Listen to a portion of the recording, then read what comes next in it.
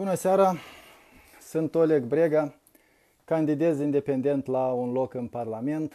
Aș putea să fiu votat de către cetățenii moldoveni cu pașaport moldovenesc valabil la una dintre cele 83 de secții de votare de pe continentul european la vest de Republica Moldova, adică în țările UE și Schengen, începând cu România și până în Portugalia sau în Norvegia, pentru că avem secții de votare și în țările Schengen. Pentru că am buget zero, adică nu cheltui niciun ban ca să îmi fac campanie electorală, intru, iată, în fiecare seară, în direct, pe Facebook, ca să comunic cu publicul meu internaut și cu potențialii alegători sau alegătoare. Puteți să comentați cu mesaje pe, aici pe Facebook. Sper să le citesc, dacă nu pe toate, măcar cât mai multe, dar puteți să participați chiar cu mine în dialog. Pentru asta trebuie să mă priviți de pe telefonul mobil în poziție orizontală și să apăsați butonul verde. Unii deja s-au obișnuit, fac asta de aproape o lună. Deja din primul minut uh, au apăsat butonul verde, au solicitat să intre cu candidatul Oleg Brega în dialog, să vedem ce au de zis, ce au de întrebat. Între timp o să deschid această transmisiune live pe computer ca să pot citi comentariile uh, sau eventual întrebările. Și din când în când o să arunc câte un ochi aici la telefon să văd dacă a reușit cineva să se conecteze sau dacă mai încearcă. Văd că deja trei persoane sunt în așteptare. Nu știu de ce primul uh, invitat nu reușește să se conecteze. Grigore Vicliuc mă întreabă dacă n-a obosit. Cum să nu? E istovitor să ieși în direct câte aproape două ceasuri în fiecare seară, mai ales după ce vii de la judecăți, de la proteste, de la diverse alte activități. Am avut azi și o dezbatere electorală de aproape două ore inițiată și găzduită de agenția Infoprim Neo din Chișinău, la care, în mod nesperat, neașteptat, a fost o contracandidată a mea, reprezentanta guvernării, fosta șefa biroului de relații cu diaspora, Olga Coptu, reprezentanta Maiei Sandu, dacă o știți pe Natalia Gavriliță, care a mai participat la o dezbatere televizată când încă nu începuse campania electorală, tot în numele Maiei Sandu, care a fost uh, viceministră pe timpul când Maia Sandu era ministra educației, și doamna Vitalie Pavlicenco, care e lidera Partidului Național Liberal, ca să-l reprezinte pe candidatul PNL în circunscripția 50 de aspera, el fiind ocupat, înțeleg că încă nu s-a întors din Franța sau din Italia, pe unde era el plecat. Dezbaterea a fost interesantă, am publicat-o adineauri pe curaj.tv, dacă n-ați văzut-o până acum pe pagina de Facebook, Curaj TV sau pe site-ul ipn.md sau pe uh, site-ul separeprives.eu care l-a transmis în direct. Dacă sunteți curioși, intrați și vedeți discuția. De data asta e totul în română, totul e uh, vivace, interesant, s-ar putea să vă placă. Și am putut să ne adresăm întrebări unii altora. Deci a ieșit o adevărată dezbatere electorală de care nu prea am avut până acum. Sper să fie la fel și joi la ora 8 seara, când sunt chemat la prima dată la o televiziune în această campanie electorală, la Vocea Basarabiei TV. Sper să fie la fel de interesantă discuția, sper să o vedeți în direct pe Facebook. A intrat cineva cu mine în direct, nu vrea să-și arate fața, dar îl sau o ascultăm. Se pare că până acum numai bărbați au încercat să intre. Alo! Nu vreau omul să vorbească.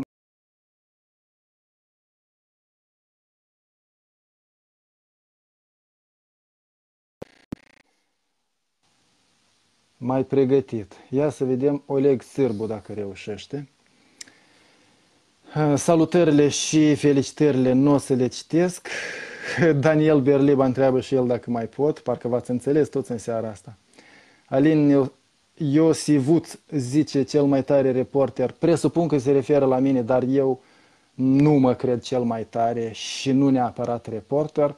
Cred că sunt un videoactivist, un vlogger unul ca oricare, sper că sunt sau vor fi, vor apărea mai mulți ca mine pe ambele maluri românești. Ce vei, ce vei face? Adică reforme. Voi face. Voi vota legi reformatoare sau voi propune amendamente la actualele legi ca să civilizăm cadrul legislativ și să-l facem pe potriva aspirațiilor europene și conform intereselor cetățenilor și nu să facem legi pentru clanurile mafiote cum s-au făcut până acum. Ne salută cineva din Onești, iată oameni noi ne privesc în fiecare seară, mă bucur. Narcis Florin ne privește în fiecare seară, îl salutăm. După alegeri mai faci live-uri, Petru Ciobanu. Dumneata mă întrebi, care mă știi de 5 ani, fac discuții la bucătărie, palavre și tot felul de alte intervenții. Evident, nu o să fie la fel de des ca acum în campanie electorală, dar nu mă las de chestia asta, pentru că din asta trăiesc, mai ales pe YouTube, din live-urile, din videourile de pe YouTube, din asta trăiesc, din asta vine uh, banul din care mă hrănesc.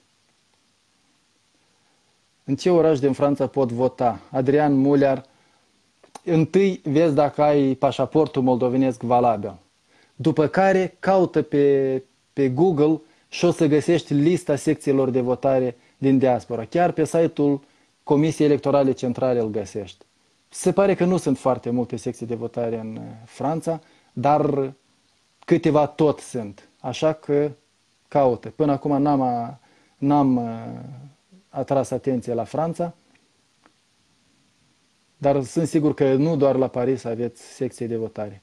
Ce reforme vei face dacă vai ajunge în Parlament? Alexandru Năstase insistă. Un deputat nu poate face prea multe reforme, pentru că mai sunt alții 100. Parlamentul Republicii Moldova are 101 deputați, iar legile obișnuite, simple, se adoptă cu o majoritate simplă, cu, deci, 51 de voturi. Vă dați seama că nu pot să inițiez prea mari reforme când 50 e foarte greu de identificat să votezi un proiect al tău de lege, dar proiectele mele pe care o să le propun, o să le fac publice, o să le supun dezbaterilor publice, să, o să încercăm să facem presiuni publice asupra deputaților și deputatelor ca ei și ele să voteze proiectele mele dacă sunt bune, dacă nu să argumenteze de ce nu vor să le voteze. Și în felul ăsta o să implic cât mai multă lume în procesul legislativ, ca oamenii să vadă că politicienii, deputații nu vor să facă legi pentru oameni, reforme, cum ziceți voi, și atunci, poate la alegerile următoare, eventual anticipate sau la cele ordinare, să-i alegeți pe alții. Iată, Eugenia Chiorescu ne informează. La Paris, Marseille și Lyon, cum am zis, doar trei secții de votare. Ai, în schimb, un stil sănătos de viață, mereu în acțiune, bravo! Mulțumesc, Grigore Vicliuc, da. Chiar azi am făcut 24 de kilometri cu bicicleta. Și al treilea an sunt vegan. Și donez sânge de câteva ori pe an. Într-un an s-a întâmplat să donez chiar de șase ori. Faci lucru bun, dar cred că lupți cu morile de vânt. Victor Petraș, eu nu cred în astfel de metafore și uh, nu cred că lupt cu morile de vânt. În fiecare zi sau săptămână văd rezultatele bune ale muncii mele. Deci nu e luptă cu morile de vânt, ci e activitate de uh, societate civilă, de formare de opinii, de civilizare a mea și a celor din jurul meu.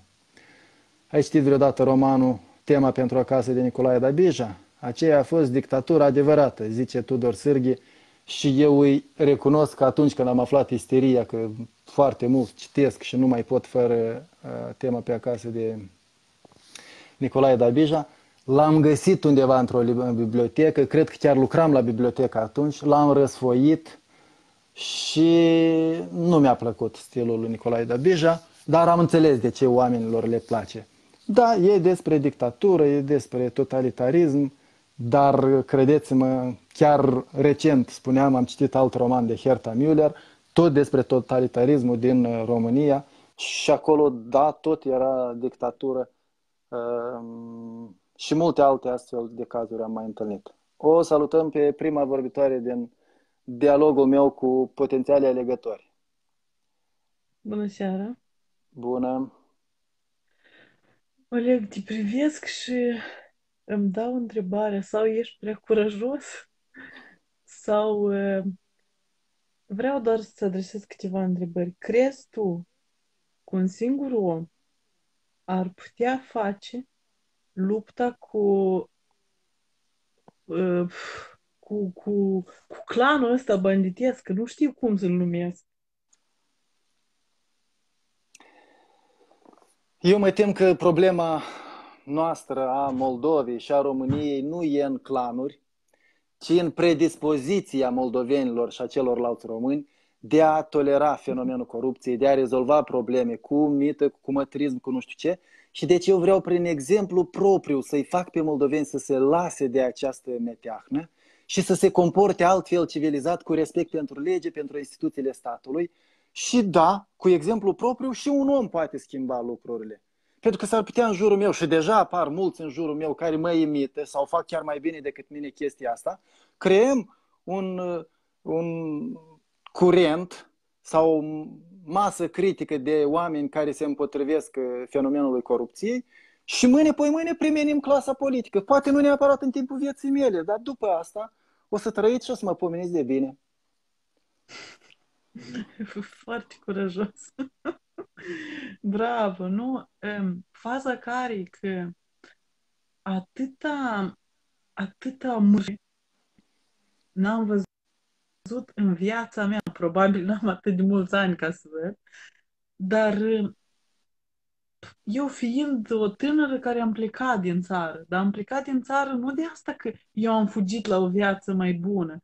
Am plecat din țară pentru că situația în care am luptat șase ani în țara mea m-a obligat într-un fel să fug din țară. Și de asta eu, văzându-te pe tine că tu lupți, îmi dau întrebarea, crezi tu că un om ar putea schimbi politica din Republica Moldova? Adică... Unul singur e mai greu, dar cu mai mulți asociații mai ușor. Unde curaj... ești acum? Urmărindu-te, uh, pentru tine era mai simplu ca să pleci din țară, de exemplu. Adică cum au făcut-o sutele și miile de tineri din Republica Moldova. Dar au plecat de ce? N-au plecat de asta că au fugit. Au plecat de asta cu lupt cu corupția, cu sărăcia, cu indiferența statului la adresa noastră. Noastre, adică... Unde ești acum? Ai drept de vot? Da, da, sigur și o să merg la vot. Deci Israel. ai pașaportul valabil moldovenesc și sigur. ești în Europa sau în Est? Nu, în Est, în, în Israel. Ok. Atunci, dar nu o să mă poți vota pe mine pentru că eu candidez în Europa și Israelul e în circunscripția 49. Găsește o variantă. Dă o fugă Bine. până la, în Grecia, până în Cipru, până în România. da. Peste și drum. Încă, și încă un moment. Care e cauza că adică unii candidați independenți nu pot, adică nu au acces la toate? De ce nu poate, de exemplu, Israelul să voteze pentru tine? De exemplu. Adică care e așa cauza? S-a croit, așa s-a croit harta, așa s-a croit... Uh, Cine? Cine a croit harta? Guvernanții. Pentru că în 14, dacă țineți minte, Cu când ce am candidat drept? independent, când am candidat în 14, am candidat ca și toate partidele pe circunscripția națională și am concurat cu partidele, dar trebuia să trec un prag electoral. Ei bine, acum noi nu mai avem voie pe circunscripția națională ca să poată vota pentru independență toată lumea, doar pe o circunscripție uninominală. Și atunci eu am ales-o pe asta unde domiciliez. Eu de 2 ani trăiesc în România, zic hai să candidez la mine acasă. Și am candidat în circunscripția 50. Dar Israelul e împreună cu Rusia, China, cu estul Europei. Așa au decis uh, guvernanții. Înțeles. Bine, uite, să admitem, cu toate că asta e greu de crezut, să admitem că tu o să ajungi, da? Adică tu o să ai... Uh, na. Care sunt pașii care tu i-ai faci pentru a schimba Republica Moldova?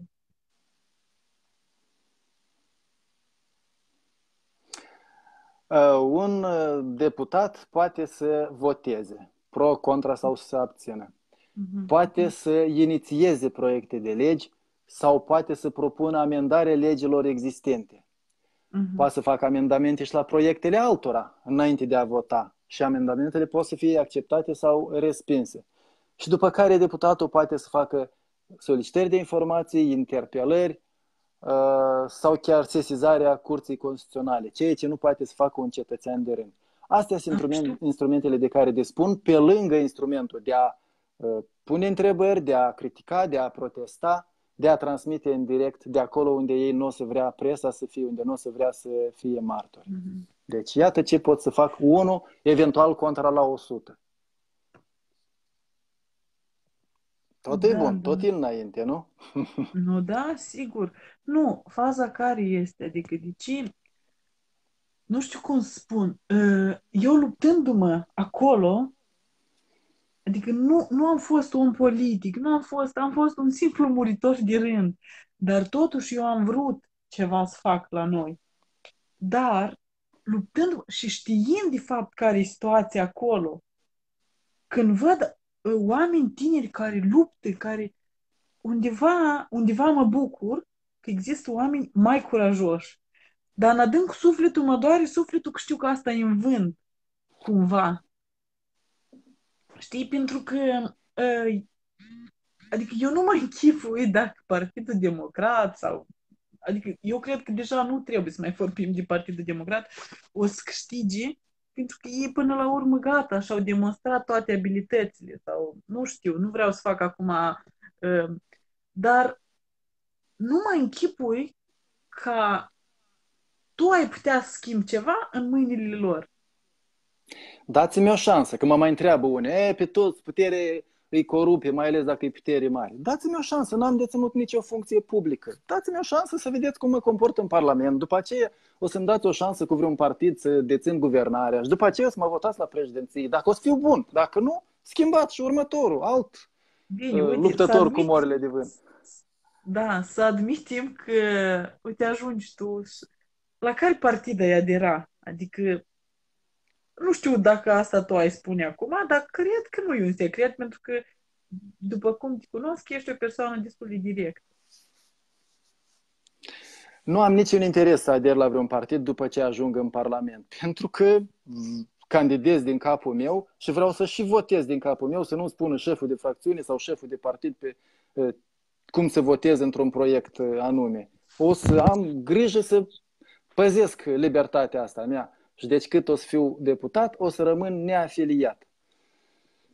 În următoarele parlamentare, poate dacă o să vrea mai multă lume să facem un partid nou sau să mă convingă să ader la vreun partid existent, s-ar putea să ader. Am afinități cu Partidul Verzilor, de exemplu, verde ecologist. Înțeleg că acolo mai venit oameni noi și s-ar putea să nu mai fie conservatori ca altă dată, s-ar putea să fie un partid progresist. De exemplu, am zis poate din blocul ăsta acum să se formeze o, o mișcare politică bună, credibilă. Chiar dacă ei sunt de dreapta, eu nu prea am convingere de dreapta conservatoare. Deci viitorul ne, ne permite multe variante optimiste. Dar, de ce? De ce nu dar există și variante... De la blocul acum. De ce blocul acum? De ce? Adică spui că nu prea ai convingerea la blocul acum. De ce?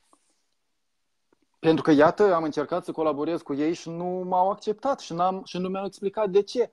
Deci stau și mă întreb, oare nu cumva au și interes ascuns, agenda ascunsă? Încă nu știu. Să vedem. Să vedem cum o să se comporte în opoziție sau la guvernare. Mm-hmm, mm-hmm. Da. Uh, bine. Hai să nu monopolizăm, să-i lăsăm și pe alții. Mulțumesc pentru intervenție. Da, da, o seară Ai spart gheața. Mersi. De activ și ceilalți participanți, bărbați sau femei, îmi doresc să apeleze cât mai multă lume. Telefonul în poziție orizontală, apăsați butonul verde și puteți intrați cu brega în direct, dar numai de pe telefon, repet, nu puteți de pe computer. Eu de pe computer totuși o să încerc să citesc ceva din comentarii, dar foarte multe, aproape 250 de oameni ne privesc și cam toți vor să comenteze și comentariile curgă în sus, toate nu reușesc să le prind. vreau să mă mut la Chișinău, zice Iulian Ungureanu. Poftim? Îndrăznește?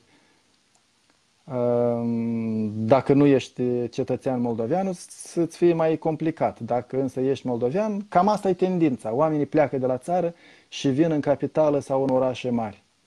Vreau să ne vedem cândva. Hai să ne vedem cândva. Sunt la Chișinău. Iată chiar ungureanul Iulian sună acum. Sunt la Chișinău, la București, s-ar putea la alegeri să merg la Iași. Putem să ne vedem la Iași. Numai că ai și tu gliucurile tale. Dar cine e perfect? Buturuga mică răstoarnă carul un potmolit. o răstoarnă în balegă. Um, foarte frumos, Brega, Israelul cu tine, Oleg. Mulțumesc, Mihai Ermurache, dar Israelul nu poate vota pentru mine. Israelul e în circunscripția 49, iar eu candidez în circunscripția 40. 50, pardon. Oleg să schimbi, crede-mă. A, poți, Oleg, să schimbi. Crede-mă, nu te da bătut. Dumnezeu ăla îi alături de oamenii cu inima curată. Posibil. Dar eu sunt ateu și nu cred în Dumnezeu. Nu faceți nici pe dracu cu altul mai sceptic. Mihai.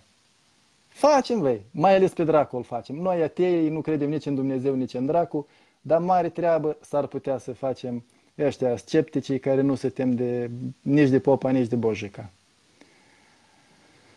Mi îmi pare că ea nu te ascultă. Tu de-am a treia oară explici aceeași întrebare. E să nu exagerăm. A vorbit destul de interesant și am interacționat uh, bine cu femeia din Israel. La noi în Călăraș, sediul Partidului Socialiștilor, e adevărată tocică de bețiv. Așa și Lenin a făcut revoluția cu cozile societății. Tudor Sârghi, dacă te-ai duce și la alte sedii de partid, tot ai vedea personaje din astea controversate.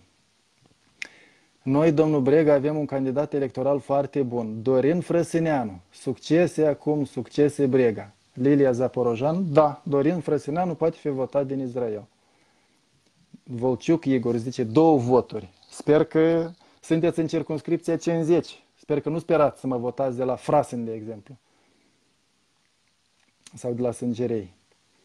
Fă-ți partidul tău. Nu vreau să-mi fac partid, sunt deja prea multe, 48 de partide. Și legea moldovenească e foarte complicată pentru creat partide. Fără bani și fără sprijinul mafiei nu poți să faci un partid. Candidez ca independent, Lucia Os, Olosutean. Da, independent candidez a doua oară, odată am candidat și din partea unui partid, fără să fiu membru la alegerile locale, la primăria Chișinău. Băi, prieteni, toți românii trebuie să fiți uniți, pentru că altfel nicio șansă. E, toți românii niciodată nu au reușit să se unească. Iulian Ungureanu, dacă nu ai reușit să intri prima dată, probabil ești cu telefonul pe verticală. Eu vă sfătuiesc să-l întoarceți pe orizontală, să acceptați rotirea automată a ecranului și abia atunci să apăsați butonul verde. Altfel nu o să puteți adera cu mine la discuție. Brega a coborât Iisus pe pământ și nu a rezolvat toate problemele. Tu crezi că le poți rezolva pe toate? Păi nici nu încerc să le rezolv pe toate. Eu vreau să ajung în Parlament și să influențez viața politică, să o influențez spre bine viața politică moldovenească. Evident, nu promit să vin să rezolv problemele oamenilor. E imposibil. Nimeni, niciun partid nu poate să rezolve problemele oamenilor, dar mite un candidat independent. Seara, Oleg! O, noroc, Iulian a reușit să intre. A, tu ziceai că vrei să te muți la Chișinău. Oleg, vreau din cauza fiindcă am văzut că ești un om foarte curajos. Noi am mai vorbit și am mai avut interacțiuni, deci eu apreciez și te stimez din toată inima de moldovean de aici, din Bucovina, zona nordică a Bucovinei, câmpul moldovenesc, și vreau să fac și eu să mă alez în partidul tău, să putem demasca hoția, escrocheria, că cei care fură trebuie să plece la locul lor, la pușcărie, nu trebuie să stea și oamenii de rând să se roage, să primească în audiență, oamenii care au o problemă cu adevărat să nu poată să fie primiți pe la ușă sau presa să nu fie acceptată pentru că descoperă ceva ce nimeni nu poate să descopere decât numai Oleg Blega. M-am uitat, ai, de aceea cred că am și gândit că se numește postul curaj, trebuie, ai mare curaj de a dezvălui hoția, escrocheria și lucrurile care se întâmplă la Chișinău. Ceea Mulțumesc. ce fac și eu în Moldova aici, la Botoșan, Suceava, Bacău, peste tot, încerc să descoper escrocheria și să le dau lucrurile pe față, fiindcă nu putem merge așa. Deci am ajuns, Oleg, să cred că monitorul de Botoșani ascunde anumitele interese unor oameni politicieni și nu deservește populația publică. Hai să-i denunțăm. Hai să facem public uh, atitudinea asta și poate îi mobilizăm să-și schimbe comportamentul. Mulțumesc foarte mult pentru participare. Uh, Dăm uh, ocazia să intre și altora. Vă amintesc, puteți participa cu mine în dialog, doar o persoană poate intra. Dacă sunteți pe telefonul mobil, dacă îl țineți în poziție orizontală și dacă apăsați butonul verde din partea de jos de pe ecran. Um, el nu recunoaște, dar simte că există, zice Villenville, probabil despre mine în legătură cu Dumnezeu. Ok. Ion Bogonovski zice, o personalitate care merită să ajungă în Parlament. Mulțumesc. Tatiana Babin, ascult ce zice fata asta și am impresia că vorbește să nu adormă. E departe și la propriu și la figurat. Eu n-aș fi atât de rău, femeie ca și mine, e după o zi de muncă, obosită și poate că asta se simte. Dar nu avem nicio pretenție, nu suntem la televiziune, suntem pe Facebook, ne privim acasă, din pat, iată, eu stau crăcit aici cu picioarele în sus și vorbim ca să ne adormim. O să adormim pe la ora 11, cel târziu, într-o oră jumate o să închidem. Votați șor, zice Silvia Chiriac. Votați dacă vă plictisiți. Am, am același nume cu tine. Sper să nu mai dezamăgești, zice Lucia. Și se referă la mine, oare? Că eu nu mă numesc nici Lucia, nici Olosutean. Iliușa Duca. Am să vedem dacă Iliușa Duca poate să intre cu noi în dialog. Bravo, țin cu tine, ești cel mai tare, Svetlana Manalachi. Mulțumesc. Halo. Ei, salut! Bună. Alo, ei! Da. Pare rău se aude aici, Bucovina. Se aude bine. Era bine să spui căști dacă vrei să auzi și tu.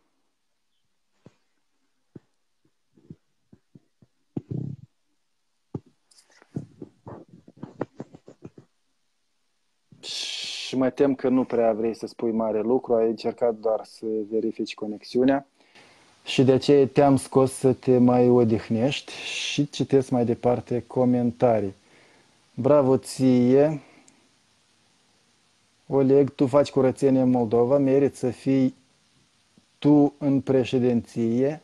Eugen Tulache poate că merit, dar acum nu avem alegeri prezidențiale, ci parlamentare și vreau să ajung unul din 101 deputați. Salutare la toți, zice Igor Gorincean, îndemn pe toți care deja sunt încrezuți de faptul de a-i da o șansă lui Oleg la implicare. Nu vă costă nimic să distribuiți acest video la toți prietenii și în toate grupurile în care sunteți moldoveni. Apoi faceți, apoi fiecare decide pentru sine. Dar ar fi bine oamenii să afle deja măcar de existența lui.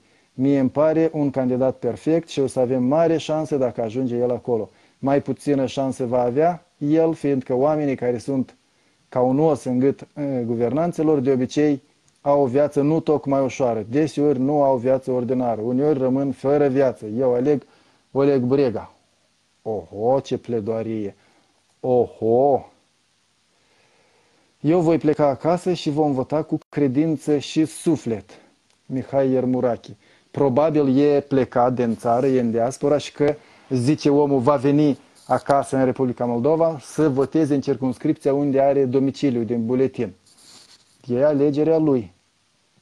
Și în Irlanda te putem vota. Daniela, da, mă puteți vota. Sunt cel puțin două secții de votare în Irlanda uh, ca țară, poate și în Irlanda de Nord, dar vă trebuie pașaport moldovenesc valabil. Da?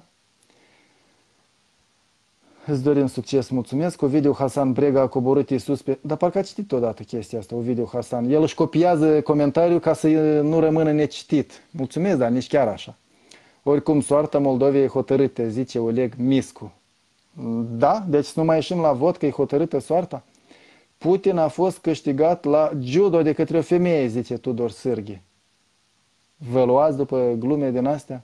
De altfel și eu când făceam sport din asta mă trânteam, dar nu la competiții, ci la antrenamente în sat la noi cu o femeie, Tatiana Tudos, dacă nu greșesc, venise de la Elizaveta, de lângă Bălți, de unde venise și antrenorul la noi în sat. Și era cam de 70-75 de kg și ea, n-avea cu cine să se antreneze și s-a antrenat cu mine. M-am trântit și eu cu o femeie, tot la judo, sando, sambo. Burebista, pare mie, a unit odată pe toți. E, povești din astea. Și Mihai Viteazu i-a unit odată pentru un an pe toți. Și aceea n-a fost o unire serioasă. A fost așa de mântuială, sub sabie. Ai scăpat din vedere comentariul meu, deci sper de data asta să aflu. Din Irlanda, te putem vota? Da, Daniela, caută pe site-ul CEC sau pe Google și o să afli chiar adresa secțiilor de votare din Irlanda. La Dublin sigur este secție de votare.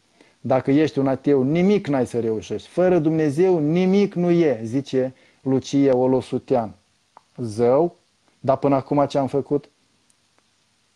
E fără Dumnezeu, te asigur. Eu din 2013 sunt dezbotezat, n-am nicio frică de povești din astea. Și iată reușesc mare lucru. Parcă sunteți frați, zice rotare Andrei, dar nu știu despre cine. A, despre băietanul acela care a vorbit uh, uh, ungurean. Da, semănăm. O să vă retrageți candidatura în favoarea lui Maia Sandu? Ion Iliev. Nimeni nu-și mai poate retrage candidatura. Au rămas mai puțin de o săptămână până în ziua alegerilor. Deci, în Europa, pregătiți-vă pe buletinul MOV să alegeți unul din 13 candidați. Sunt 7 femei, 6 candidați independenți. Alegeți-l pe cel mai destonic. Eu vă recomand să-l alegeți pe ăsta curajos, revoltat, de pe bicicletă. Diaspora distribuit, zice Vlad Beșleagă. Ce faci cu Vlădica dacă ajungi în Parlament? Lui Vlădica o să-i retragem pașaportul diplomatic și numerele guvernamentale de la mașină și alte sprijine pe care le are poate neoficiale din partea guvernului, pentru că el e capul uneia din 45 de culte religioase înregistrate oficial. De ce ar fi, mă rog, favorizat? Ce are? Dacă vă referiți la Vladica Vladimir, că mulți se declară Vladica, unii sunt și patriarhi. Nu uitați că Vladica e subordonat patriarhului de la Moscova, care patriarh de la Moscova i-a dat medalie lui Smirnov și lui Maracuța. Um, o să vă retrageți, am citit. Oleg Brega, un om cu idei de stânga, care stă lipit de calorifer, cu lumină, internet. De ce nu pleci să stai în cort, în fundul grădinii, să dai exemplu că banul nu e important în, în viață? Să zic ceva sau să nu zic?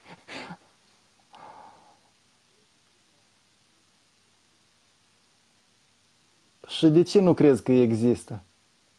Despre Dumnezeu? Pentru că nu am niciun indiciu că Dumnezeu ar exista, mai ales așa cum îl descrie Biblia, ci că pe noi ne-a făcut după chipul și asemănarea Lui, deci El seamănă cu noi, nu-i așa? Vă imaginați că o moșulică cu barbă sau fără barbă, care stă în cer, poate să vadă tot chestia asta și a putut să facă toată lumea, nici nu într-o săptămână, dar în vreo 5 zile, că după aceea stă și s-a hodinit. Vă imaginați chestia asta?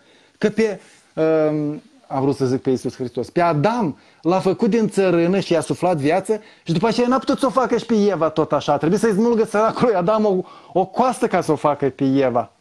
Și după aceea toată omenirea a curs din ăștia doi oameni. Da, a avut numai trei băieți. Bine, Cain l-a omorât pe Abel și a rămas Set. Deci Cain cu Set, doi frați, cu tata lor și cu mama, o singura femeie de pe lume.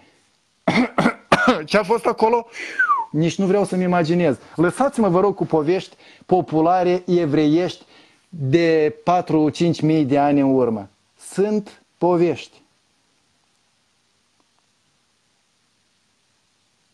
Brega, mi-e teamă să nu te execute mafia.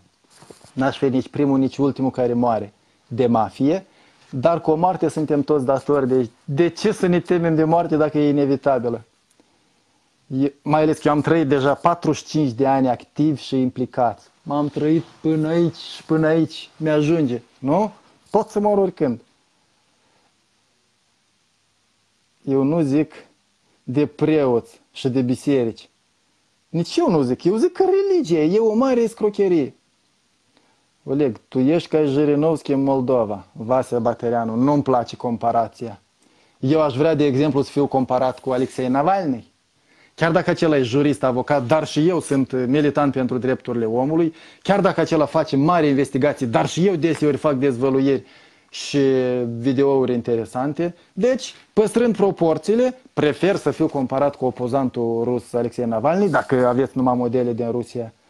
Și eventual Curaj TV să fie comparat cu Dojd, TV Rain, televiziunea de opoziție din Rusia. Dar nu mă comparați, cum comparați, vă rog, cu Jirinovski, pentru că mă ofensați. Vreau să aud părerea ta despre Lilian Carp. Tot acoi. A, deputatul cel liberal care a ajuns pe lista blocului acum? N-am nicio părere. O părere despre Costel uh, Zdragatu. Tot n-am nicio părere. Oleg, place să te văd la putere. Mulțumesc, Iulian Ungureanu, și eu aș vrea. Deocamdată nu reușesc nici în Parlament să intru. S-a îmbătat acela cu camera, zice Victor Cojocaru. Nu știu că azi vreo doi au sunat și n-au zis nimic. Cine vrea să intre cu mine în dialog, de pe telefonul mobil în poziție orizontală, apăsați butonul verde din partea de jos a ecranului și o să puteți vorbi cu mine. Nu puteți de pe computer și nu știu dacă puteți de pe tabletă. Să-mi spună cineva dacă a reușit vreodată să intre cu mine în dialog de pe tabletă, ca să știu ce să le spun altora pe viitor. Nu foarte mult, că iată, duminică o să mă las de activitatea asta. Um, tu vre-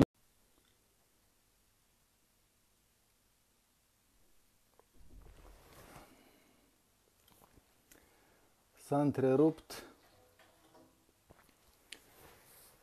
și pentru că nu mai eram sigur că merge treaba, chiar am oprit și am început să fac un live nou. Am observat că încă nu am nici ora de când am început uh, transmisiunea în direct. M-am gândit să fac un alt live și să vă amintesc că a rămas mai puțin de o săptămână până la alegerile parlamentare din Republica Moldova și că eu, Oleg Brega, candidez din nou um, pentru un loc în Parlament tot independent, tot cu un buget zero, dar de data asta nu mi s-a mai dat voie, n-am mai putut să candidez în circunscripția națională, să pot fi votat de toată lumea, de oriunde, ci am putut să candidez doar în circunscripția uninominală 50. Bine, puteam să aleg, puteam să candidez oriunde, dar m-am gândit că în diaspora europeană, acolo unde trăiesc și eu de 2 ani la București, ar fi cel mai potrivit loc să candidez. Uh, pentru că și alegătorul e mai descrețit la, fun, la frunte și descuiat la minte. Um, și pentru că nu știam alți concurenți la data când am început eu să strâng semnături, decât despre Olga Coptu, de exemplu, despre Dorin Dușceac, despre uh, Gheorghe Bobeică și cam atât. Am mai aflat despre niște independenți când am dus dosarul de candidat. Ca abia pe 2, febru- pe 2 ianuarie să aflu că tot aici vrea să candideze și Maia Sandu. Așa s-a întâmplat că concurez cu ea în circunscripția 50, dar nu mi se pare un capăt de țară. Am sperat la o confruntare democratică civilizată de idei și a fost până la urmă. Uh, iată, la dezbatere de azi a participat reprezentanta Maiei Sandu. S-ar putea și la dezbaterea de joi de la Vocea Basarabiei să, să participe cineva din partea Maiei Sandu, poate chiar ea să vină la televiziune. Dacă nu și nu, asta e situația. O să mai avem poate și alegeri anticipate și acolo sper să ne întâlnim de aceeași parte de baricadă. Acum contez pe un scor onest, eventual Maia Sandu să ia 70%, eu să iau 20% și ceilalți concurenți să încapă încă în 10%. În circunscripție 50, amintesc, pot să fiu votat doar de la Iași până la Lisabona în Europa. Aici, în Republica Moldova, la mine în sat la Pepeni sau la Trușeni, la Durlești, unde am trăit ultimii 10-15 ani, nu o să mă puteți vota, nici dacă vă sunt foarte drag și ați sperat să vedeți în buletinul de vot acest uh, biciclist curajos și revoltat. Iată că din nou 100 de oameni sunt cu mine. Îmi pare rău pentru problema creată de pisică, poate ați mai văzut-o în transmisiunile de data trecută. S-a jucat pe acolo pe lângă modem și a oprit internetul. Deci e un incident regretabil, dar care e cauzat, se datorează dragostei noastre pentru animale. Mai puțin a mea, pentru că mie nu-mi place să țin animale de casă, să le țin aici, dar copiii au vrut să înfieze una și au înfiat-o. De câte voturi ai nevoie ca să ajungi deputat? Ion Munteanu, nu contează câte voturi. Dacă participă o mie de oameni în circunscripția diaspora la vot, pot să am și 100 de voturi dacă ceilalți candidați au numai 99. Deci trebuie să fii primul. E un singur tur, nu există turul 2. Primul clasat, oricâte voturi are, poate să aibă și 10% sau numai 5%.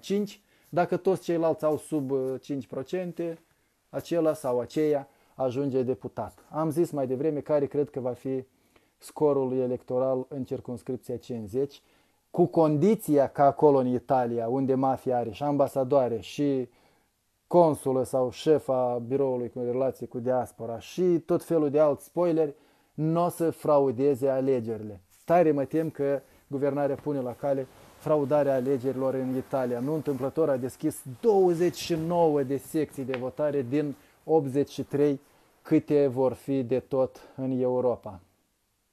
Unde ești acum? Sunt la Chișinău.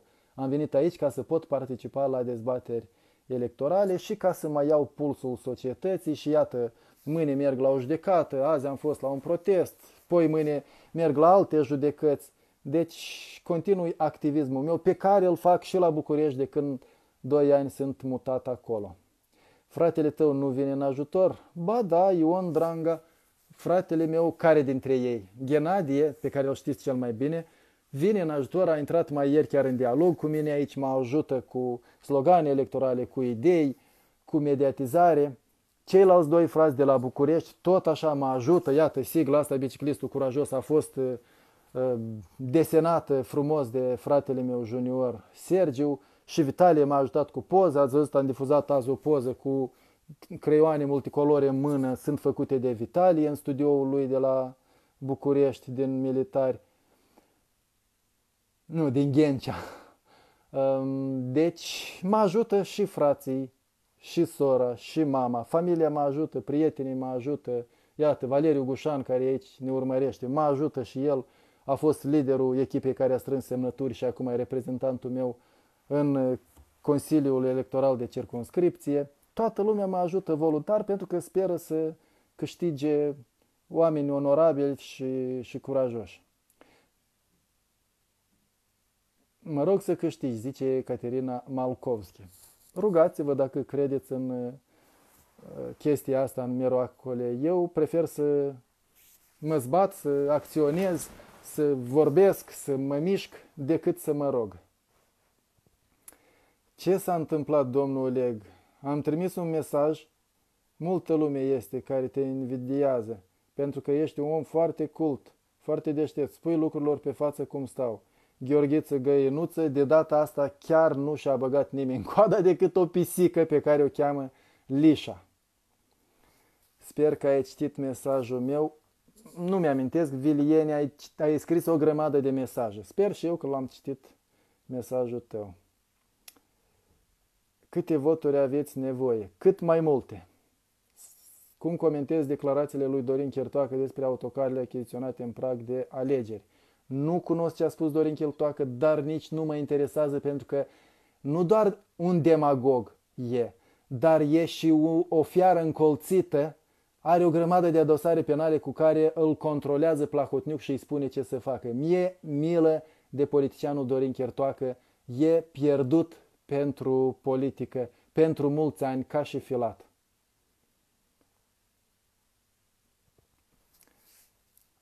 A să vii în fiecare zi la muncă, Roma Pascari. Nu doar că o să vin în fiecare zi la muncă, dar eu zi și noapte sunt la muncă, acum ca activist, dar și când o să fiu deputat. Uneori nu pot dormi oamenii din preajma mea pentru că mă sună lumea în continuu. De la închisoare, de peste tot, mă sună în continuu.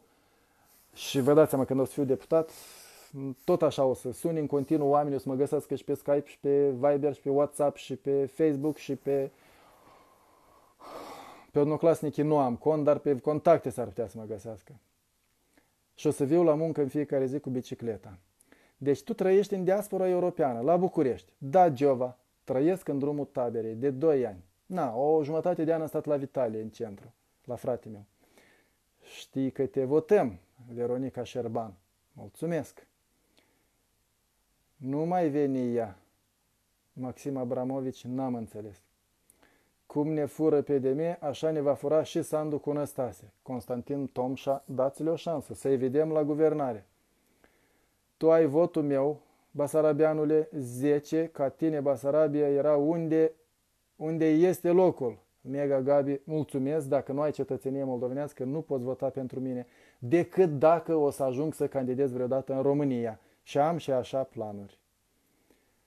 Eduard Diacub întreabă, Anglia? Yes, of course. Și în Anglia sunt secții de votare. Trebuie să ai pașaport moldovenesc valabil. Îți iau, îți doresc, Vasea Bătereanu zice, Oleg, îți doresc să iei Ministerul Justiției. Ok, mulțumesc, dar cred că acolo ar trebui să fie totuși un jurist. Iată așa civil cum sunt și nepolițist, aș lua Ministerul de Interne. Dar deocamdată vreau să ajung în Parlament, nu în guvern. Am scris în partea întâi, în transmisiunea care s-a întrerupt, o întrebare. Ce credeți despre predarea obligatorie a educației juridice în școli și licee și ce poate fi inițiat pentru aceasta? Veronica Grecu, e foarte bună idee și noi am inițiat-o ca ONG, Asociația Hyde Park, și credem că copiii în școală au nevoie de educație juridică elementară, pentru că habar n-au care e diferența între Parlament și Guvern, cu ce se ocupă primarul și Consiliul Local, unde trebuie să scrie o petiție dacă s-a stocat o grămadă de, de gunoi la marginea lotului lor pe deal, de exemplu, sau dacă le-a fura, fost furat vaca sau dacă au găsit un cadavru în debara.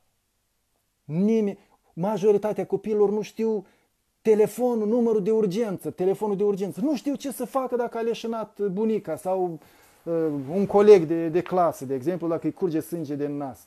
Oamenii au nevoie și de deprinderi de viață. Să știe cum să se păzească de infecții, cum să se spele pe dinți, cum să se păzească de sarcini nedorite și despre educație juridică. Sigur că da, școlile trebuie uh, regândite, curicula școlară, programa școlară trebuie regândită, să nu li se mai predea chimie organică și fizică, cuantică, decât celor care vor să facă cercetare în viitor, care vor să fie oameni de știință și pornesc pe calea asta. Cine vrea doar să ia bacul și să rămână om onest, să fie învățat chestii elementare, să mânuiască un computer, să mânuiască o lopată, o mistrie, chestii elementare de care toți au nevoie în viață.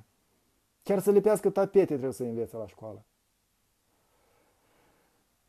Vreau să intru cu tine în direct. Ha, Gheorghe Găinuță, da, mulțumesc, bine că mi-ați amintit, trebuie să activez chestia asta. Acum cine e pe telefon și mă privește în poziție orizontală, puteți să apăsați butonul verde de parte, din partea de jos a ecranului. Iată, chiar acum Gheorghe Găinuță a apăsat acel buton, am primit o notificare să văd dacă reușesc să îl aprob în dialog, să vedem ce vrea să ne spună.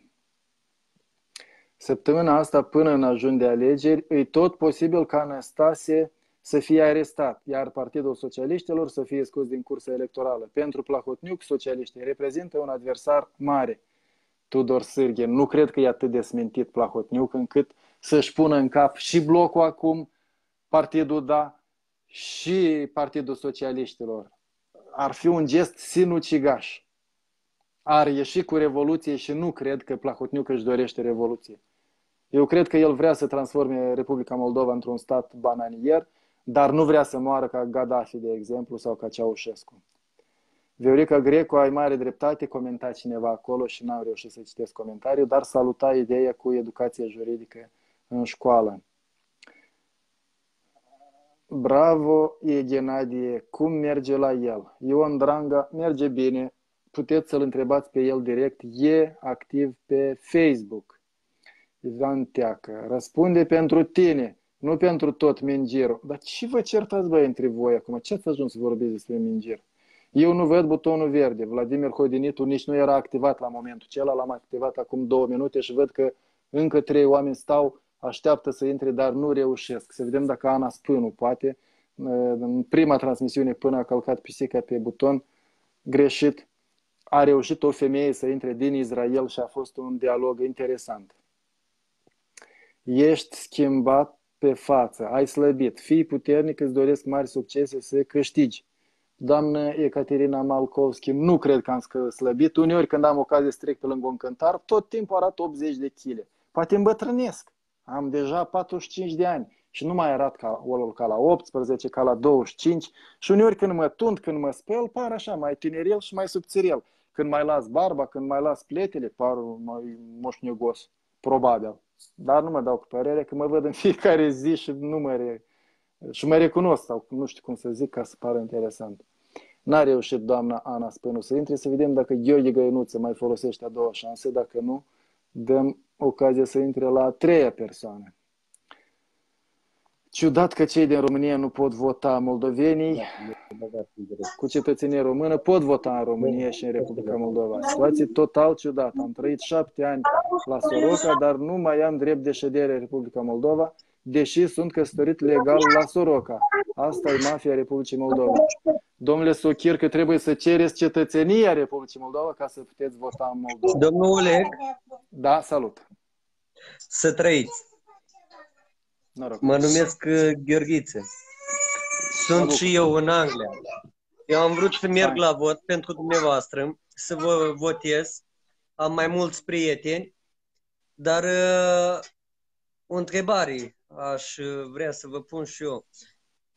Asta este și pentru România, cei ce faceți, nu? Nu, deocamdată nu. Nu. S-ar putea să candidez la europarlamentare, dar acolo îmi trebuie 100 de mii de semnături și e, e real să pot candida independent. Dar eu sper să intru în Parlamentul Republicii Moldova, sper să mă voteze moldovenii din Anglia, de exemplu, și să ajung în Parlamentul Republicii Moldova. Pentru Europarlament îmi fac planuri de viitor. Sau pentru alegerile românești. Când? Peste 2 ani, dacă nu o să fie anticipate.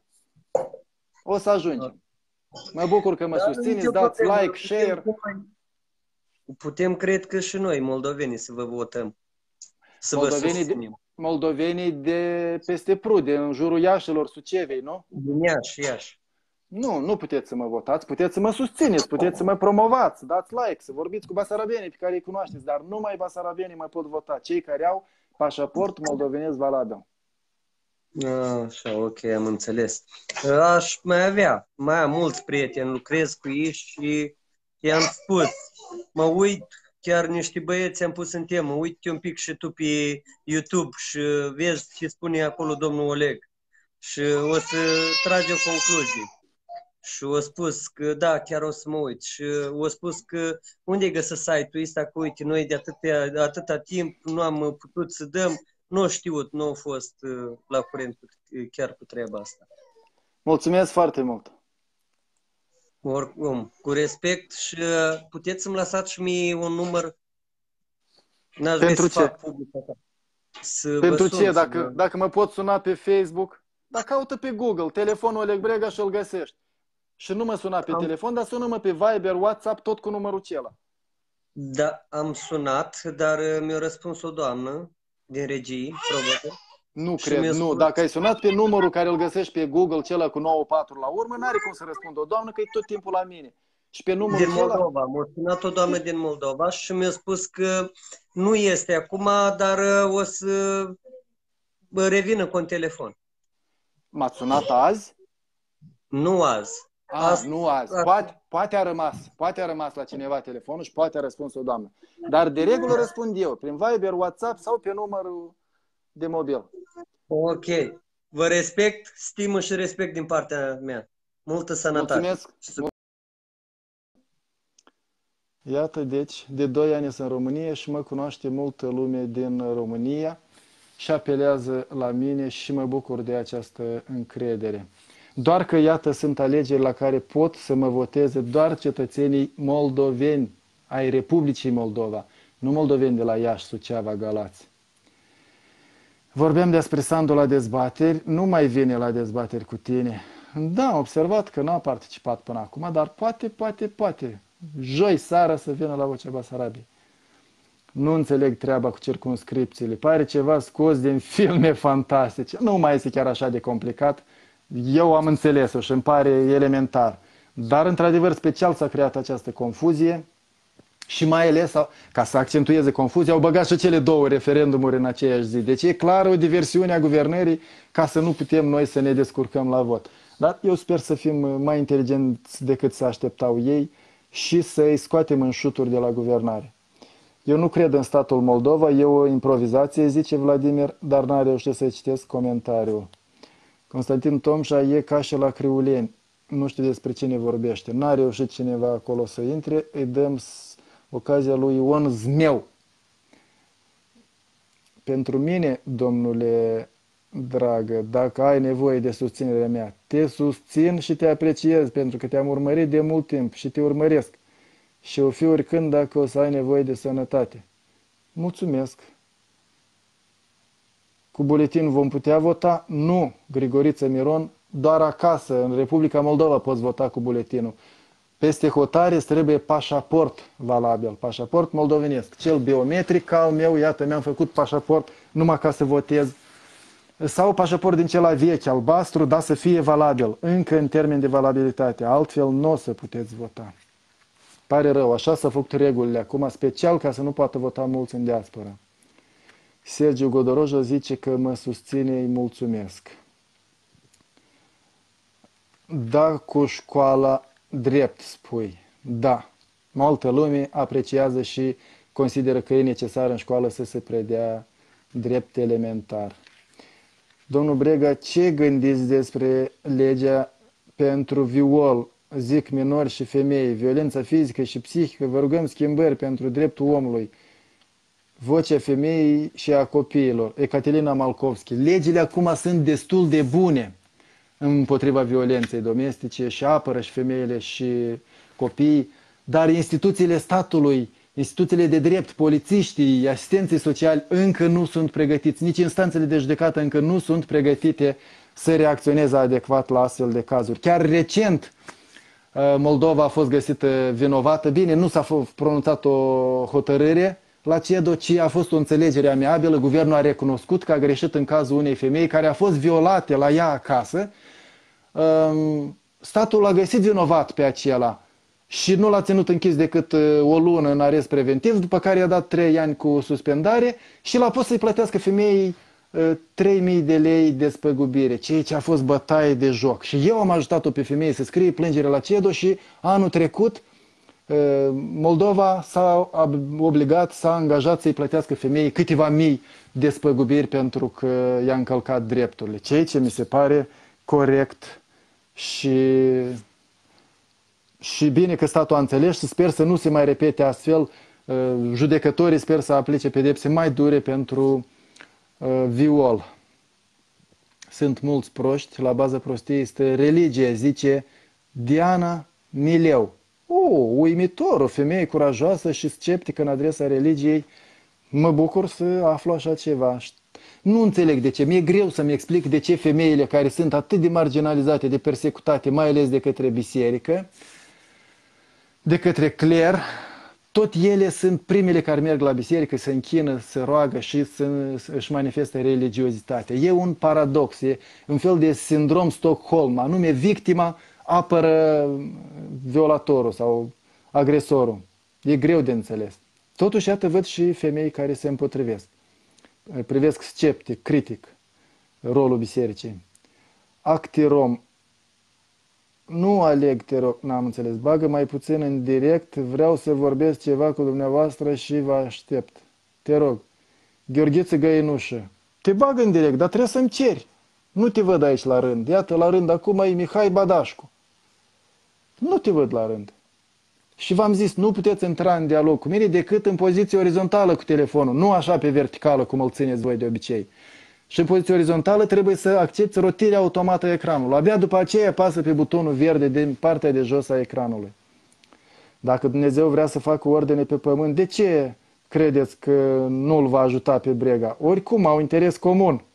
Ok, Dumnezeu o să mă ajute așa cum sunt ateu. Bun, băi, voi credeți serios în chestia asta.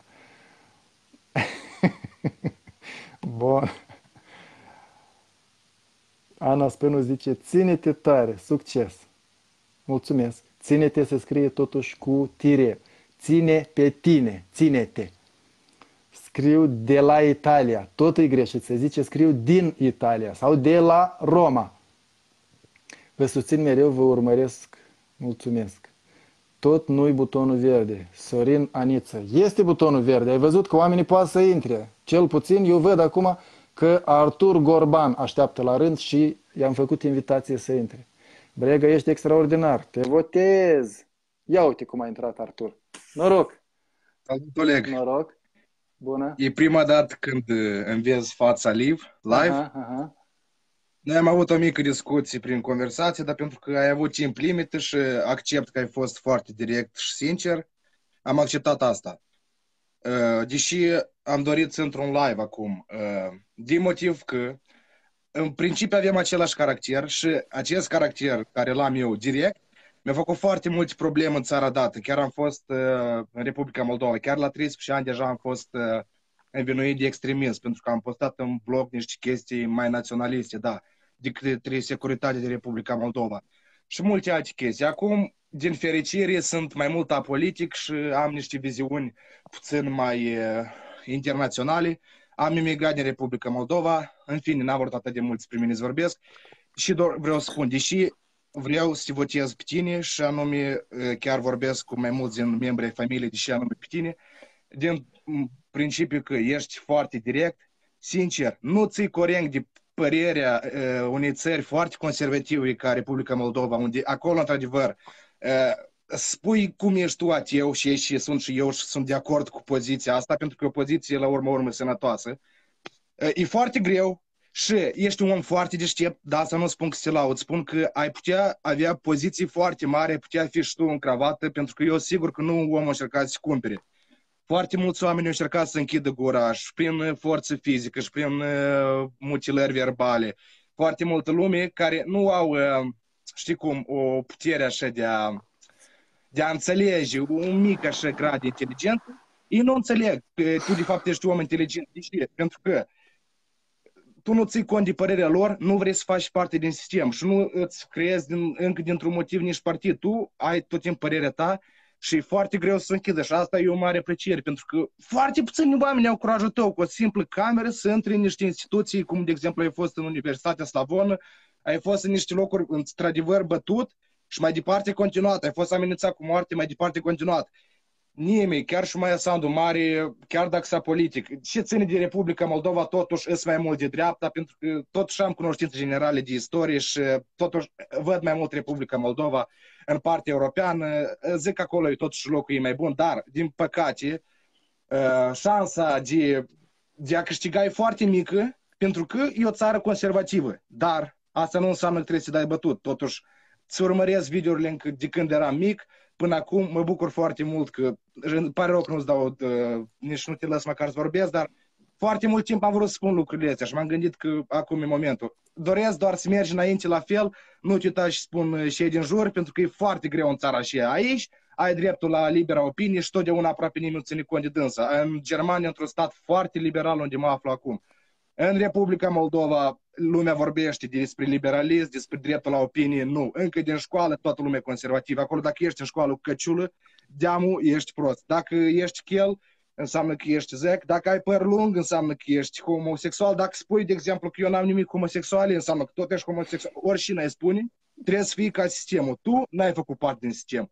Ai fost în biserică, unde toată lumea înțelegi, fășe cruci cu camera ta și ți-ai bătut joc cum ai vrut de preot, dar nu ți-ai bătut joc. Tu ai spus opinia ta și tu ai spus opinia ta și la poliție și ai spus opinia ta și la procurori. Nimeni din Republica Moldova nu a avut curajul ăsta și tu ai putea fi la fel în cravată, ai putea fi la fel într-o mașină foarte luxoasă, foarte multă lume am auzit spune și în Brega, un clon. Băi, el e clon de atac el a ales să nu fac parte din sistem. Tu la fel puteți sta foarte bine într-un scaun acum de Parlament dacă tu alegi să fii cumpărat, cum au făcut 99,9% din parlamentari. Cred că a rămas unul singur dezvolt, sincer, obiectiv și independent.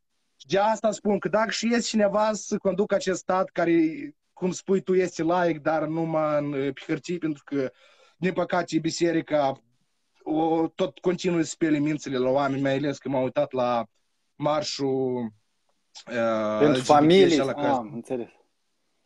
Da, da, da, când am văzut, uh, în principiu, eu nu sunt homofob, nici nu fac parte, nu contează orientarea mea, lumea care mă cunoaște știe că nu dar când am văzut, aici, la urmă urmei să fac parade, spre spunem, dar oricum lumea nu sare.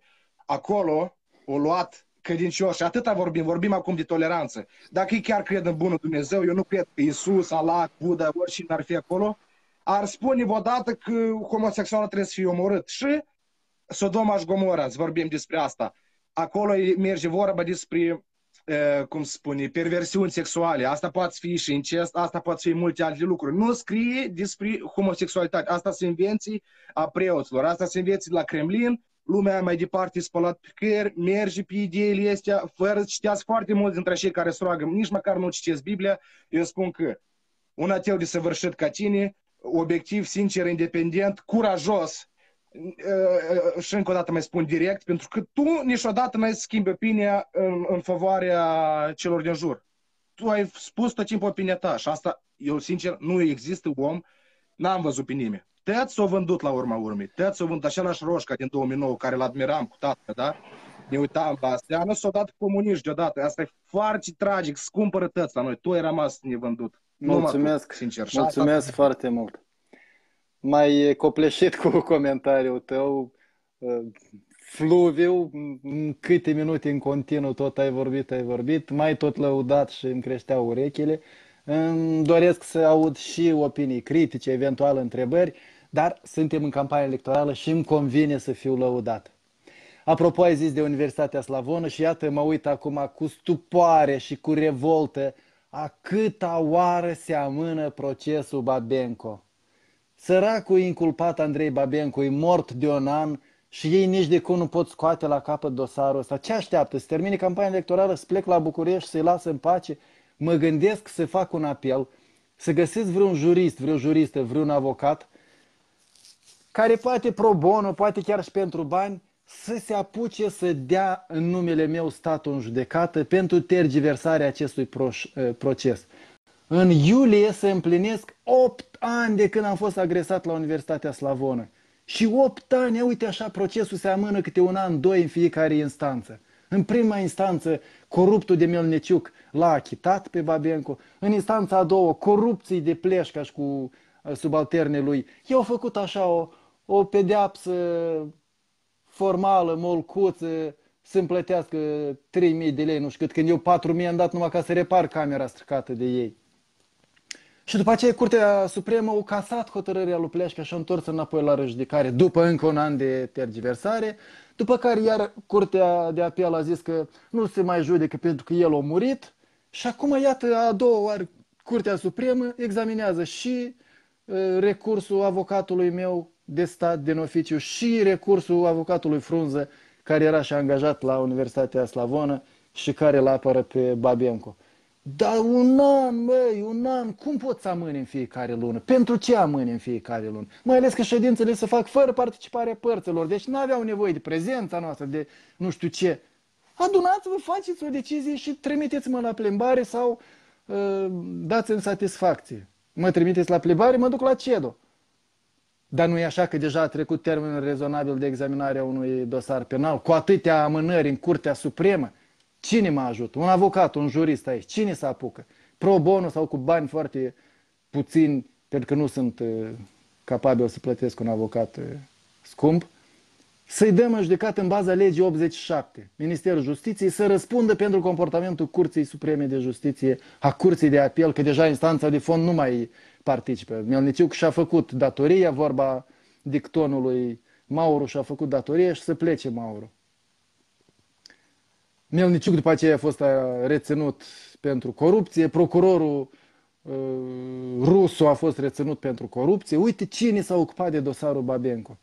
Și Babenco și încă și un martor care era par, coparticipant la agresarea mea au dat ortul popii. Ce așteaptă? Să mor și eu sau să moară și ceilalți doi? Justiție de căcat. Oleg, dar tu nu ai oameni în Europa care să te promoveze? Întreabă Saven Nicușor. Cum n-am? Uite, 257 se uită acum la mine și probabil câteva zeci de distribuiri, uneori unele live-uri de ale mele într unele serii au câteva sute de distribuiri. Și iată promovare.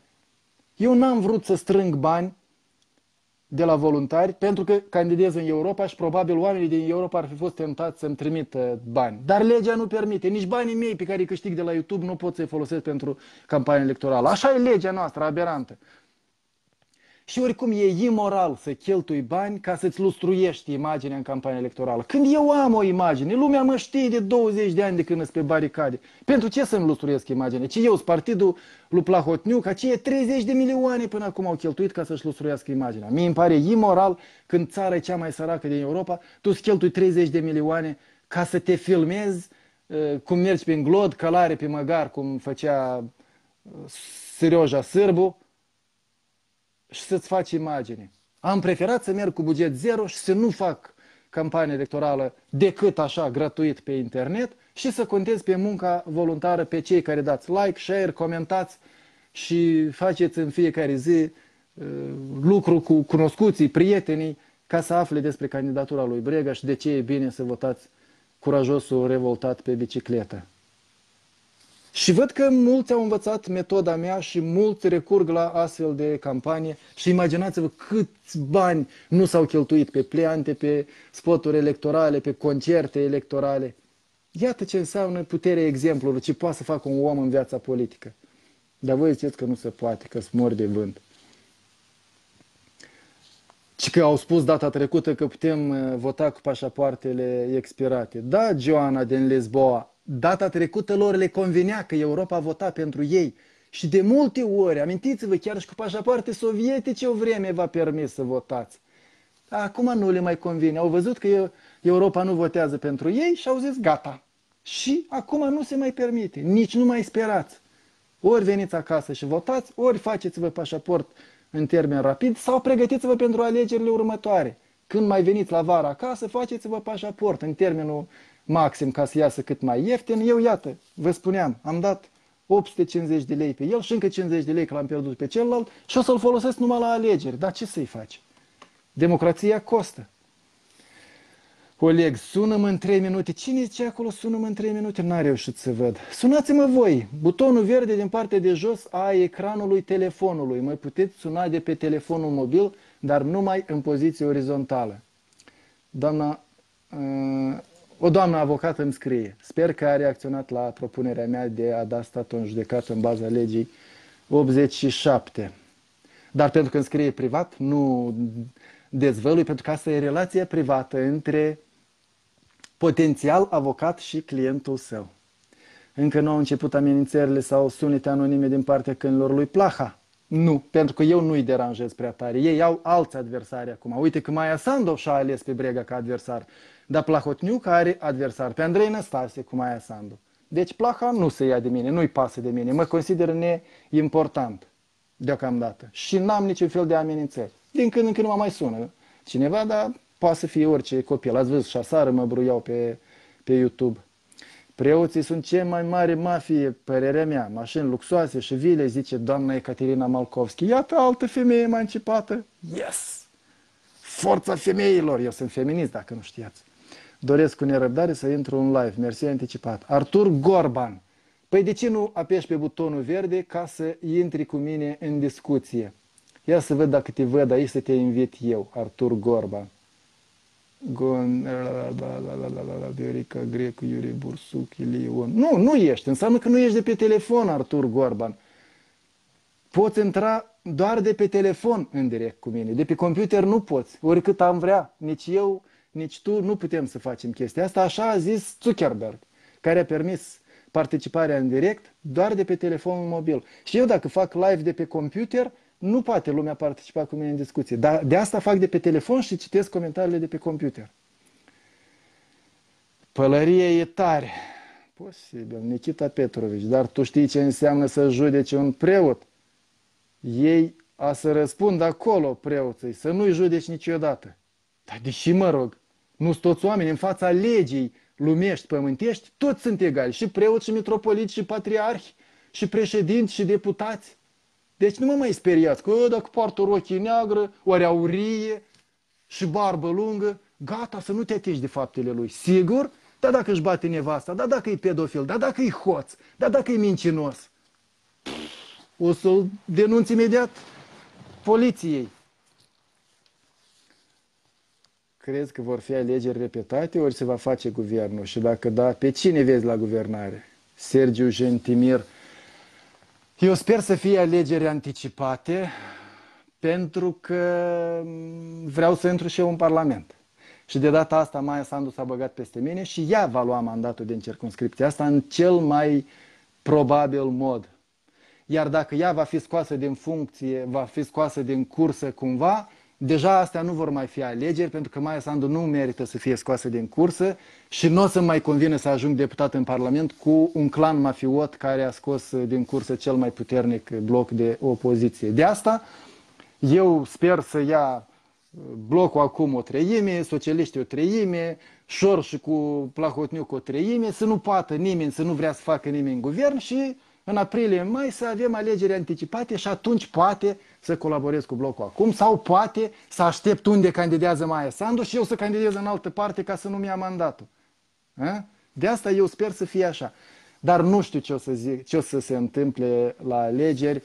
Uh, îmi doresc să se schimbe spre bine lucrurile și asta depinde mai ales de votul nostru. Cel mai tare eveniment a fost pe 7 aprilie. Brega a ridicat Jurnal TV când îmi aduc aminte ce ți-au făcut mascații pe 7 aprilie. Veronica Șerban se pare că știe ceva, dar nu pe 7, ci pe 8 aprilie a fost bătut în spatele guvernului de către angajați mai și nimeni nu a răspuns nici azi pentru jefuirea mea. Mi-au luat două camere video, una Jurnal TV-ului și una Asociației Hyde Park și pe doi dintre cei șase agresori am identificat și nimeni nu a răspuns nici până azi, ca să vă dați seama cum funcționează la noi justiția și cine a rămas la guvernare. Și comandoul acela de polițai din spate era coordonat cumva de un aghiotant de al ministrului de interne de atunci, a viceministrului de interne kosovan, uh, blondul cel care încerca să corupă deputați, Burlacu, am uitat cum îl chema pe Burlacu, și actualul ministru de interne, Jizdan. Ca să înțelegeți cine e acum la guvernare. Vlad Beșleagă, hai, intră, te poftesc. Preoții cei mai mari tâlhari, hoți și mafie, Caterina Malkovski insistă. Bă, ce tot atât îl întrebați dacă se căsătorește sau nu? Nu vedeți că avem parlamentari căsătoriți și degeaba, că niciodată nu se gândesc la copiii noștri? Veronica Șerban, dă să te pup, bravo! Azi femeile toate mă încântă. Atâtea femei luminate aici, nu-mi vine pentru ca să crez. Așa a fost, eram alături de el și eu. Vasile Costiuc, unde erai alături de mine? Pe 7 aprilie, da, când am filmat atrocitățile din piață și după aia repede am urcat în taxi și am plecat, că puteam să luăm și noi bătaie. Dar pe 8 aprilie nu erai alături de mine. Sau erai după ce ai ieșit de după guvern, nu mi-amintesc. Cei de la, la Amnesty mi-amintesc că au mers cu mine la spitalul de urgență, dar nu mi-amintesc dacă erai și tu pe 8 aprilie. A treia zi deja, pe 9 aprilie, când ne ascundeam amândoi, fugeam de poliție, pentru că ți-a șoptit ție nu știu cine că suntem căutați de poliție, de fapt îl căutau pe Ghenadie, nu pe mine, atunci, da, am stat ascuns și o vreme amândoi și după aceea pe mine m-au găsit acasă și pe tine te-au căutat acasă. Dar tu ai fugit, eu n-am fugit, eu am leșinat și era să mor acolo în brațele lui Frunză, care pe tine te-a pocnit cu un an mai devreme. Oleg, români, nu răspunzi. Cum nu răspund? Dar până am cu cine am vorbit? Nu, nu tot cu români am vorbit? Oleg, de ce totuși Maia și Andrei se tem de tine? Sergiu Godoroja, întreabă pe ei. Eu presupun că sunt totuși nepotriviri ideologice. Ei sunt conservatori, cu Doamne ajută, i-am auzit azi la conferința de presă, cu Doamne ajută, dar eu sunt ateu și cu drapelul uh, curcubeu și cu bicicleta, ei îmblă cu mașina. Și nu ne potrivim așa. Ei sunt conservatori, eu sunt progresist. Vasile Corostiuc, ce tragedie a fost, dar lumea tot judecă, zice Veronica Șerban. Oleg, de ce nu candidezi? Anton Alexei, cum nu candidez? Dar de ce fac campania asta electorală? Tamam pentru că candidez. Îs pe poziția nouă în buletinul de vot în diaspora europeană. Mă pot vota la Iași, la Suceava, la Galați, la București, la Sibiu și tot restul Europei până la Lisabona sau la Londra. Eu sunt român, am fată, am fată cu o femeie din Trușeni, zice Valeriu Mihai Strate, dar să știți că o duceți rău. Bine că voi o duceți bine. Asta e Moldova. Ghenadie Scoarță zice. Valeriu Mihai Istrate. Și în România sunt mulți muritori de foame. Da, Veronica Șerban. Și eu filmez deseori în România. Chiar când m-am dus primul reportaj, primul interviu pe care l-am făcut în România, în ianuarie 2017, a fost cu un omulean, cu Gheorghe Vișan, cu care și acum țin legătura și nimic nu s-a schimbat în situația lui. Omul trăiește în 2 metri pătrați. Eu dacă mă întind acolo nu încap în coliba aceea lui. Taman la ieșire de pe autostrada 1, când vii de la Pitești, în militari, pe dreapta este un service acolo și el stă într-o cabină pe colț acolo și trăiește de câțiva ani acolo, săracul Gheorghe Vișan, care are dizabilități, are probleme de sănătate, are o pensie de la stat, eu știu, 350 de lei și nu se poate judeca uh, cu cei care nu-i dau uh, casă, de exemplu, cum prevede legea. Pentru că nu are avocat, nu are cu ce-și plăti avocatul, iar statul îi dă avocat gratuit de stat, dacă are venituri mai mici de 300 de lei. Iar venitul minim garantat de stat e 1900 de lei. Vă dați seama ce lege idiotă s-a făcut în România. Deci, da, există și acolo multă mizerie, sărăcie și nedreptate. Valeriu Mihai Strate să știi că și în România asta am citit, doar cine nu vor să muncească nu greșește, probabil ar fi vrut să zic Valeriu Strate. Oleg, dar nu sunt avocații de stat ce ți apără dreptul, nu sunt informați. Ecaterina Malkovski întreabă, nu sunt informații de asta, oare dacă o femeie are nevoie de un advocat să o apere, nu-i de stat care îți plătiți? Sunt avocați care îți plătiți, dar trebuie să prezinți un șir de documente doveditoare că ai venituri mai mici decât minimum garantat de stat. Aici în Moldova se pare că sunt 2000 de lei.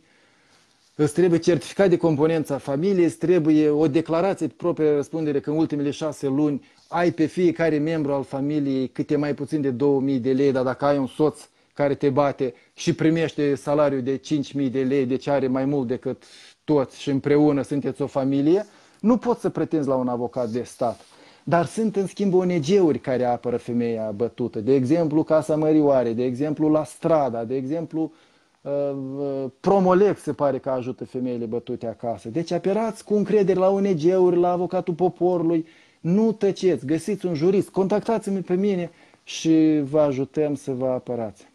De numărul de vizualizări de la aceste live-uri poți să faci ceva bani? Nu, Ilie. Pe Facebook nu poți să faci bani, de pe YouTube, da. Și de asta eu, ca șmecherul, după ce termin live-ul pe Facebook, extrag video și îl încarc pe canalele mele de YouTube, unde am monetizare și îmi vine, eu știu, cât, câțiva cenți din live-uri, că nu sunt foarte populare. Lumea mai degrabă se uită la bătăi cu poliția, știți voi ce e popular pe YouTube. Iată, am un video de acum un an de la București, cu doi polițai și un ceaușist, are vreo 800 de mii de afișări deja. Așa, da? Dar cu un live din ăsta am 800 de afișări. Simți diferența? Da, am auzit că o să monetizeze cândva vreodată și Facebook-ul. Poate că monetizează deja în state, dar acum la noi încă nu monetizează conținut, nici fotografii, nici video, nici nimic. O să vină vremea. Eu simt că viitorul e al internetului și de aceea, acum câțiva ani, când mi-am închis emisiunea Inamicul Public, am zis ceapa măsă și am început să investesc timp și răbdare în canalul meu de YouTube și acum am 50 41 de mii de abonați și încă 8 mii pe canalul de alternativă și de acolo grosul veniturilor, aproape 300 de euro pe lună. Deci pot să stau acasă și din când în când să fac un live și să mă uit cum vin banii. și când o să îmbogățesc, o să vă cumpăr și vouă scofeturi. Băi, ești proastă sau nu înțelegi ce spune Brega? Cam ești grei de cap, dragă. Aia, doamnă Maria, nu cred că se vorbește așa civilizat, nici în Israel, nici în Moldova.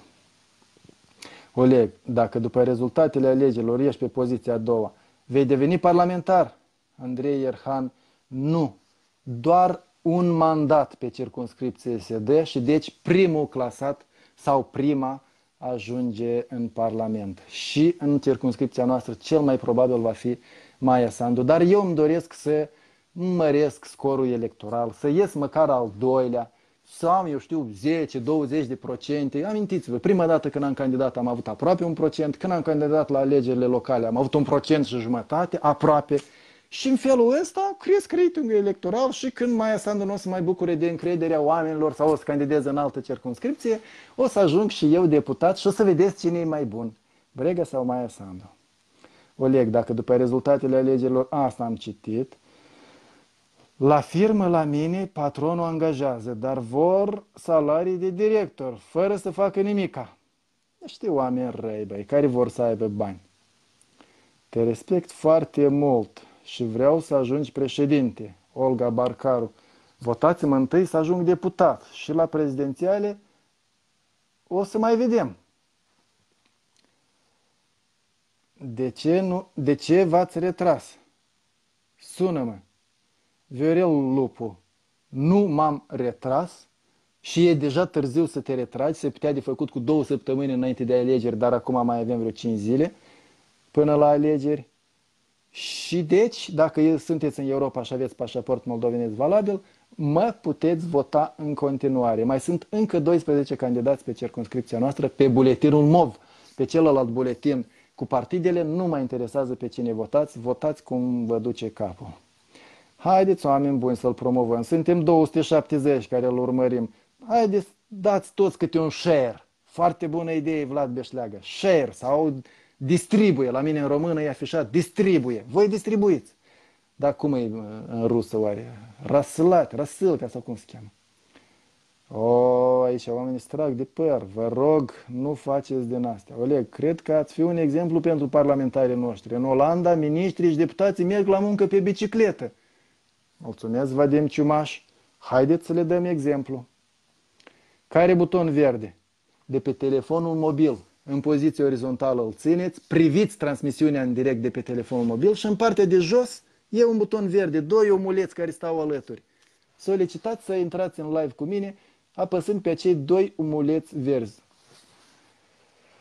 Vlad Beșleagă de mult încearcă și nu reușește să intre. Probabil el ține telefonul pe verticală. Eu vreau să fiți pe orizontală și să acceptați rotirea automată a ecranului. De ce n-ai candidat în Chișinău? Am vrut. Astă vară am, am anunțat că s-ar putea să candidez în circunscripția 33 um, suburbiile Chișinăului, pentru că am trăit 10 ani la Durlești și încă vreo 3-4 ani la Trușeni și taman în circunscripția 33, sau mă gândeam în diaspora europeană pentru că de 2 ani trăiesc la București.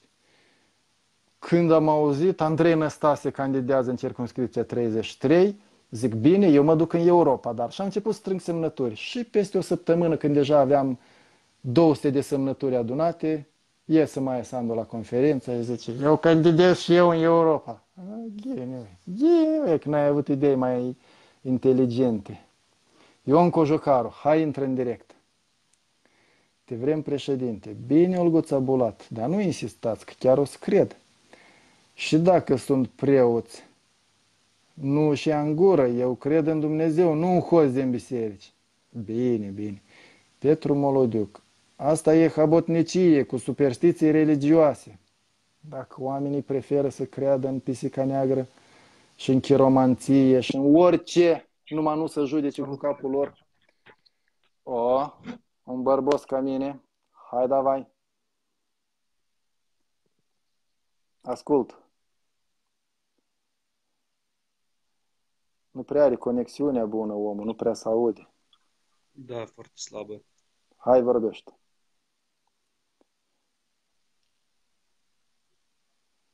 Dacă nu zici nimic, te scot. Salut, salut. îs- Eu sunt afară, nu sunt, pe loc, nu sunt în țară și e foarte slab când dispare. Mhm. Îți doresc succes în ceea ce faci, te susținem. Drum bun și putere, putere și răbdare trebuie. Mulțumesc. O să ajungem departe împreună. Hai. Mă bucur să vă Salut. știu alături. Salut, Oleg. Numai bine, pam. Hai să vedem altcineva. Daniela Jantoan. Wow! Dimitri Chirchilan. Ce este păcatul? Hai, acum, lăsați-mă cu poveștile. Spui foarte bine că credința nu costă în biserică, dar în relația da cu Dumnezeu. Păi ce ați băut toți azi, băi? Băi, oameni buni, mai lăsați bisericile cu alegerile. Vai de țărișoara noastră care nu are o grădină, o școală, profesori, drumuri, numai chioșcuri și glod pe jos și biserici cu turle aurite și poci cu merțane.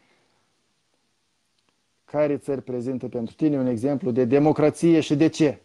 Eugenia Chiorescu, de multe ori am zis, țările scandinave sunt exemplu de democrație pentru mine. Și dacă aș emigra, aș emigra în Canada. Daniela Jantoan, n-ai reușit să intri. Dam. Spui foarte bine, am citit. Cred că mai mulți Oleg te cunosc, cei din diaspora, decât cei din țară. În caz de alegeri anticipate, vină tot în diaspora. Iurie Bursuc, și dacă iar candidează Maia Sandu peste mine, cât o să stau așa în așteptare, veșnic candidat, zice lumea despre Brega. Și se întâmplă, Nastea Zacrevski, se întâmplă, Doamne ferește și se întâmplă. Mai sunt 20 de minute și nu o să mai întâmple mare lucru. Dar dacă câștigă nemernicii, cum crezi? Se va porni revoluție? Tolic Pânzari, dacă o să-i voteze poporul, nu o să fie nicio revoluție și o să avem nemernici la guvernare încă 4, 8, 10 ani. Cum a fost în 2001, țineți minte, au venit niște nemernici la guvernare și au guvernat 8 ani. Și n-am avut ce să facem. M-am apucat să-mi fac masteratul, m-am angajat la bibliotecă, că mi-au închis emisiunea. S-a descurcat care și cum a putut. Mulți ați emigrat atunci. Și acum, dacă vin nemernici, o să mai emigreze câțiva, o să vină oameni cu minți ascultători din Vietnam, din Turkmenistan, din Mongolia. Hai să distribuim că se merită. La mine în sat vecinul când se îmbată își bate nevasta copiii. Cum crezi? Să-l filmezi, să-l denunți la poliție? Categoric da, altfel ești complice dacă știi de așa ilegalitate și o taci. Aici intră în direct Violeta Mihailenco. Da, dar trebuie să fii de pe telefonul mobil și trebuie să-l ții în poziție orizontală, că dacă învii cu el pe o verticală, degeaba apeși butonul verde, că nu poți, nu poți să fii acceptat în dialog, în discuție. Daniela Jantoan și cu Vlad Beșleagă, de asta probabil nu puteți intra cu mine în dialog, pentru că țineți telefonul așa. Dar eu îl țin așa. Nu observați diferența? Sau nu mă ascultați când vă spun? Te salut din Focșani, județul Vrancea. De fiecare dată când merg la București trec prin Focșani, decât dacă nu vin de la Brașov, de exemplu, și să trec pe la Bacău sau pe la Onești. De mult vreau să merg pe la Galați. N-am apucat să merg pe la Galați și tot aș merge pe alături de Focșani. Oleg, sunteți minunat. Olguța Bulat, mulțumesc. Pe 7 aprilie eram în piață când mascații au luat la bătut fetele și băieții. Între orele 22-23 noaptea, ca prin minune, a fost un noroc și pentru mine că am găsit un taxi. Copiii fiind, doream și noi să lipsim de la ore de la facultate, așa am ajuns și la meeting. Și când mă gândesc că am scăpat ca prin urechile acolui, Veronica Șerban, poate voi ați plecat la 22-23, dar eu am stat până după miezul nopții și bătăile au început deja pe 8 aprilie, pe la ora 1 noaptea. După ce am plecat eu din piață, cât eram eu acolo, nu se întâmpla nimic. Cum am ajuns eu la Casa Presiei, la redacția Jurnal de Chișinău, numai ce aud. Bubu, bubu, bubu, m-am uitat pe geam și am văzut cum alergau oameni în disperare pe Pușkin la deal camera în mână, fuga în piață, cu Vasile Costiuc, da. Și am filmat ce am putut acolo, pentru că nu ne-a dat voie niște polițai să ne apropiem și după aia am, am luat și noi un taxi și am fugit acasă ca să publicăm rep, rep de video. Și acum sunt pe YouTube acele videouri filmate de noi. În noaptea aceea am prins ceva uh, bătăi acolo în locul unde se pare că a murit uh, a fost uh, bătut până la moarte Valeriu Boboc. Și Vlad Beșleagă și Daniela Jantoan nu reușesc să intre. Cercăm cu altcineva. Chiar dacă o să ajungem în Parlament, sper să, sper să. Centrul de drept al femeilor acordă asistență femeilor bătute. Alo, Noroc, coleg. salut. Coleg, uite și întrebare. Eu am, am privit toate videoclipurile tale. Ești bravo. Da. Maia Sandu, cum eu a ajuns? Eu acolo ți-am scris. Vezi că curg repede întrebările și n-am reușit să citesc ceva de Maia Sandu. Cum a ajuns Maia unde? Sandu, eu înțeleg, fiecare are lucrul lui. Din cât știu, Maia Sandu n-are universitate, o, o școală de medicină. Din cauza ei, dacă eu știu precis că te-ai uitat și tu toate rolele care... Cred că o confunzi cu Silvia Radu, care a fost șefă la Fenosa, după aceea a fost primară uh, interimară și Ah, după da, aceea au da, pus-o ministră a sănătății. Maia Sandu are Harvardul și a fost ministra educației. Acum n-are nicio funcție. Da, da, da, da, da. Dar Ministerul Sănătății, eu cred că trebuie să fie cu, cu, cu o școală oarecare, nu? Ei bine, se poate, dar când ești manager poți să nu ai decât școala vieții. Na, nu, nu am pretenții. Dacă am hotărât Plahotniuc să o pună pe Silvia Radu la E Ministerul Plahotniuc, da, Sănătății, a Plahotniuc. considerat că e bună.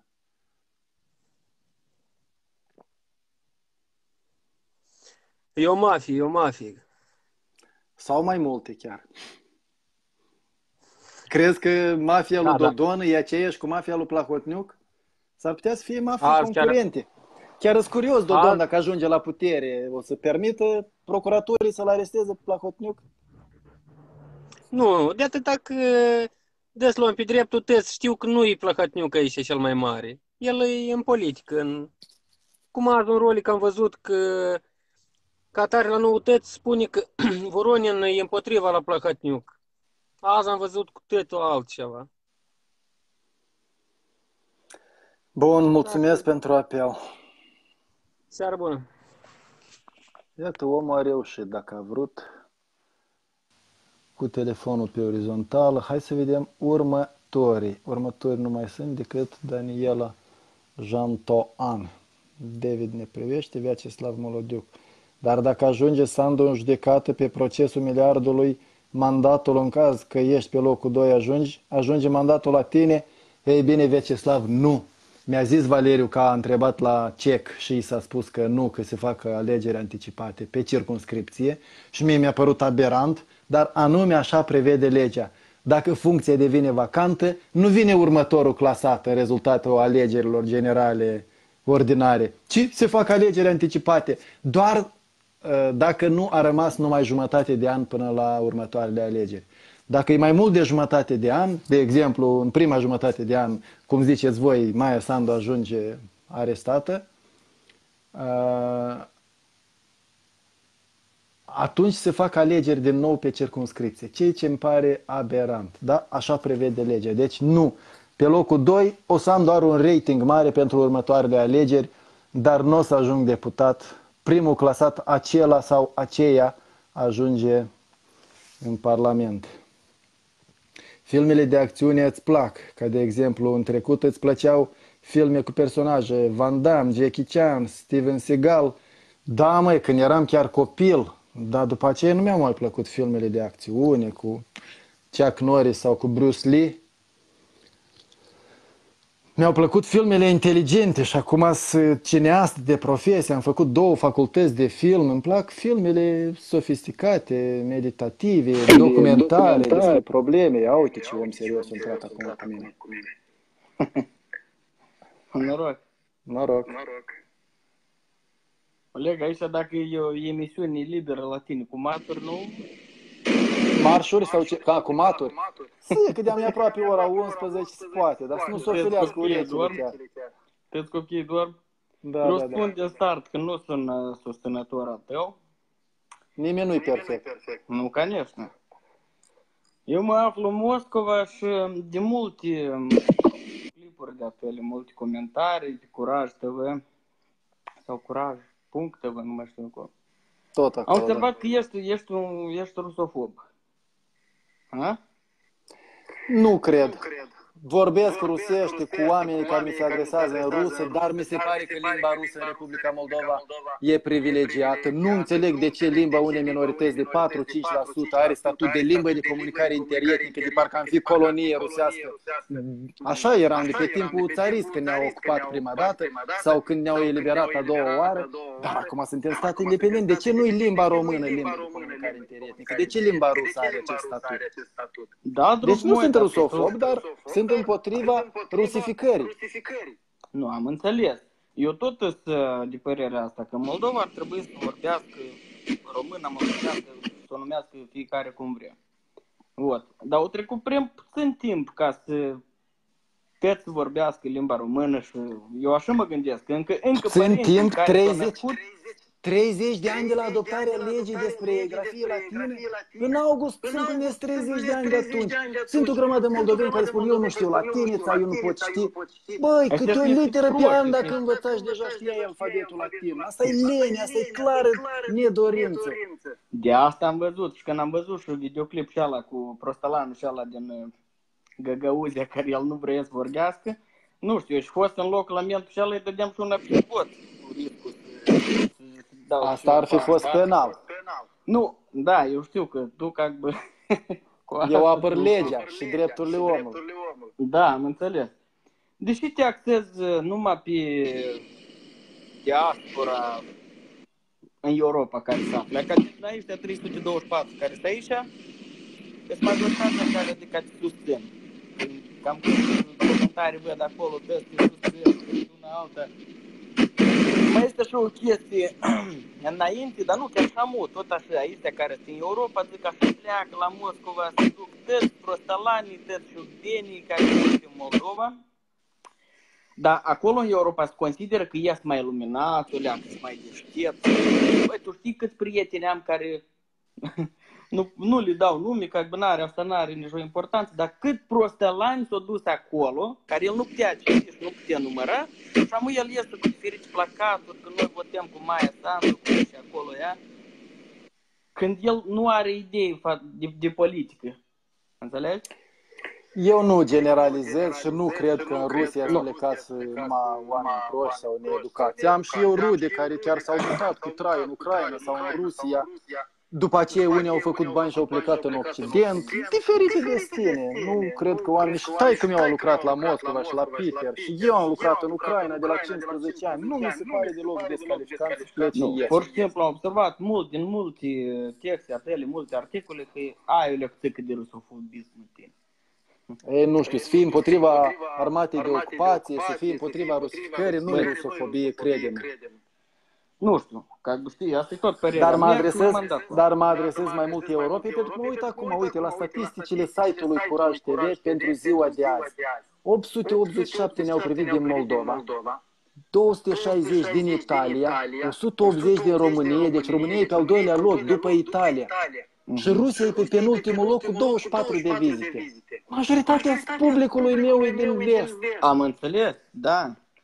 Da, ca să te voteze și oamenii de aici și ea, tot mă gândesc că ar trebui să și mai, mai neutru, adică pentru... De asta pentru nici nu am candidat pe circunscripție 49 și am candidat pe circunscripție 50. Voi Pravil. aveți pe alți candidați în circunscripția 50. Da, am înțeles. Și părerea ai despre oamenii care, candidații care au mai mulți cetățenii, eu tot am da. cetățenie dublă de 22 de ani.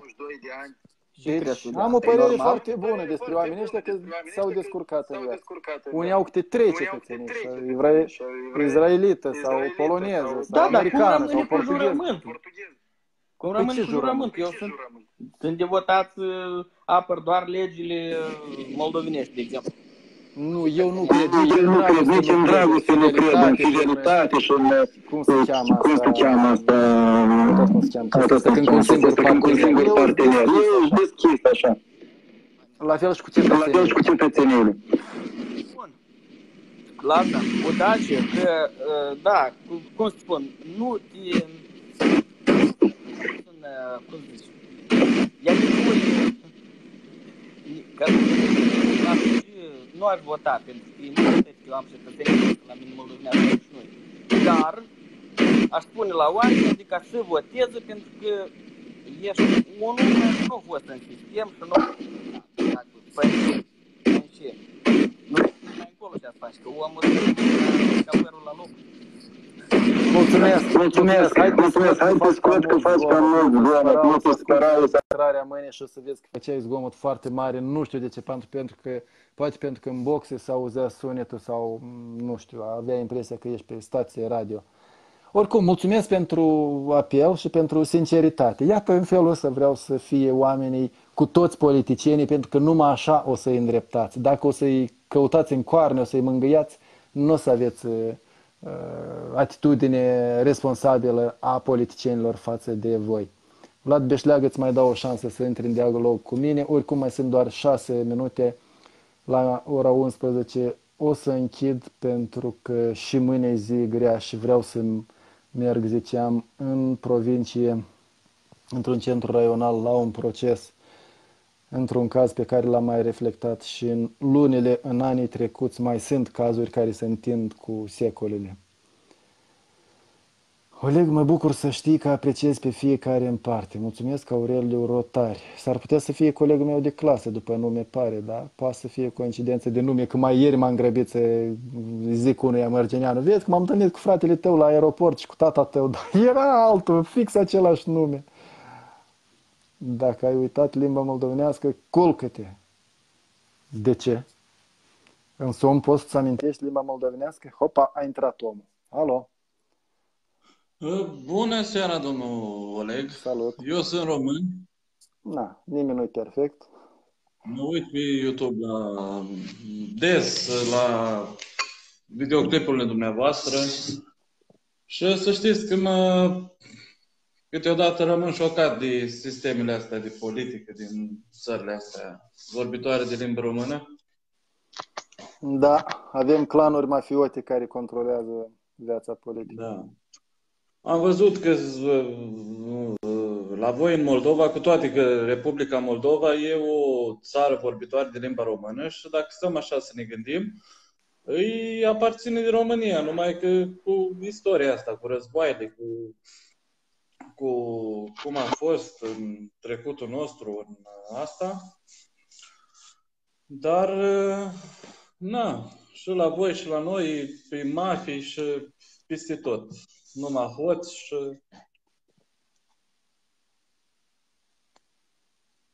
Și e greu. Da.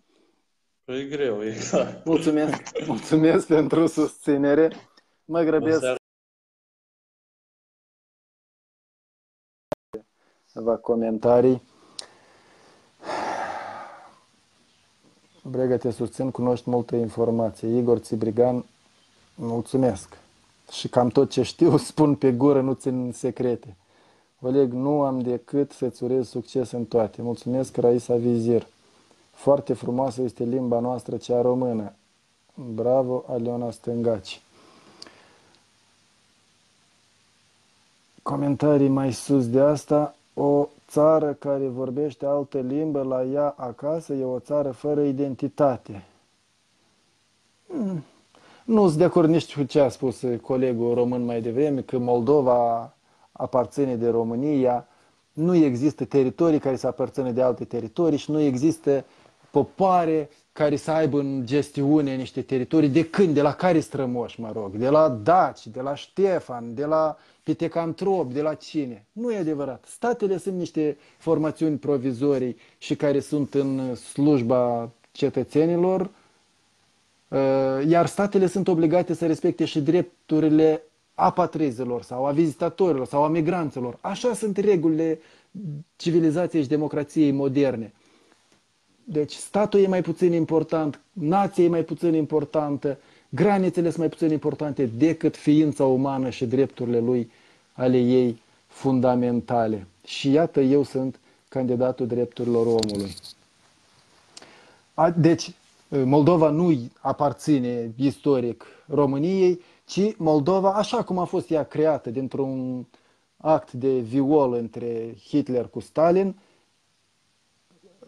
în baza înțelegerii lui Hitler cu Stalin, prin Molotov cu Ribbentrop a fost răpit Basarabia în 28 iunie 40, după care Stalin însuși a desenat harta actualei Republicii Moldova. Nu putem să ne mândrim, nu e așa cu performanța asta. Ca după care, cine mai era? Elțin era atunci președintele Federației Ruse. A decis că, iată, partea estică a Republicii Moldova să fie ruptă și transformată în într-o enclavă, într-un stat autodeclarat, așa, o, un, o fâșie de pământ. Un stat autodeclarat. Au inițiat că război civil. Ce război civil, băi? Era o, o provocare fără noi, mă. Mm, deci statele astea, inclusiv statul autodeclarat uh, Republica Moldovenească Nestreană, sunt creaturile oamenilor și dacă s-ar merge conform regulilor, conform uh, legilor, oamenii ar trebui să decidă ce să facă cu această formațiune provizorie, statul. Republica Moldovenească Nestreană, nerecunoscută nici măcar de Federația Rusă deocamdată, dar poate să o recunoască oricând. În schimb, e recunoscută de alte formațiuni din astea create tot de Rusia, cum sunt Abhazia, Ageria, de, se pare că Saakashvili a reușit să o închidă ca proiect, mm, Osetia, Nagorno-Karabakh, iată, țări din astea nerecunoscute sau recunoscute între ele. Și Republica Moldova e o formațiune statală, așa cum a fost ea creată de Stalin împreună cu Hitler în anii 40, dar acum aparține cetățenilor săi care, prin reprezentanții lor, în 27 august 91, au proclamat independența și primii care au recunoscut în următoarea jumătate de oră a fost uh, Republica România. Și gata, suntem state independente, membri în ONU și în uh, Consiliul Europei, și așa mergem înainte. Deocamdată nu aparține nimeni de nimeni decât cetățenii de stat și statul depinde de cetățeni. Am ajuns la ora 23 și am zis că nu o să întind mai mult de atât. O să vă mulțumesc tuturor pentru participare. Și o să vă dau întâlnire în zilele următoare. Mâine seară o să fac live pe pagina mea de candidat independent, iar poi mâine din nou pe YouTube, pe Google Hangouts și tot așa până în ajunul alegerilor, cât încă e voie de făcut campanie electorală, iar în ziua alegerilor seara, probabil o să revin pe canalul meu de YouTube uh, într-un hangout de dragobete ca să discutăm rezultatele deja alegerilor, o să urmărim uh, votul, numărătoarea prealabilă de la CEC și o să comentăm. Poate nu o să începem la 9, o să începem pe la 10, așa când o să apară primele rezultate. Acolo pot să stau mai mult. Pe Facebook o să revin poate și după alegeri, pentru că îmi place că uh, se poate interacționa cum se făcea la inamicul public. Dar acum am recurs la metoda asta doar așa experimental, ca să fac un fel de campanie electorală cu buget zero, v-am zis, nu vreau să cheltui bani ca să-mi lustruiesc imagine. De aceea vă rog, continuați să comentați astfel de videouri, continuați să dați like sau distribuiți aceste videouri sau fotografiile de pe pagina mea, de pe profilul meu sau ideile mele electorale sau postere electorale pe care le fac și tot pe internet le distribui. Ajutați-mă, vă rog, să fac campanie onestă, gratuită dacă e posibil, să iau un scor electoral cât mai mare. Iar dacă ajung deputat, sper să vă reprezint demn, curajos, să nu vă pară rău că m-ați susținut.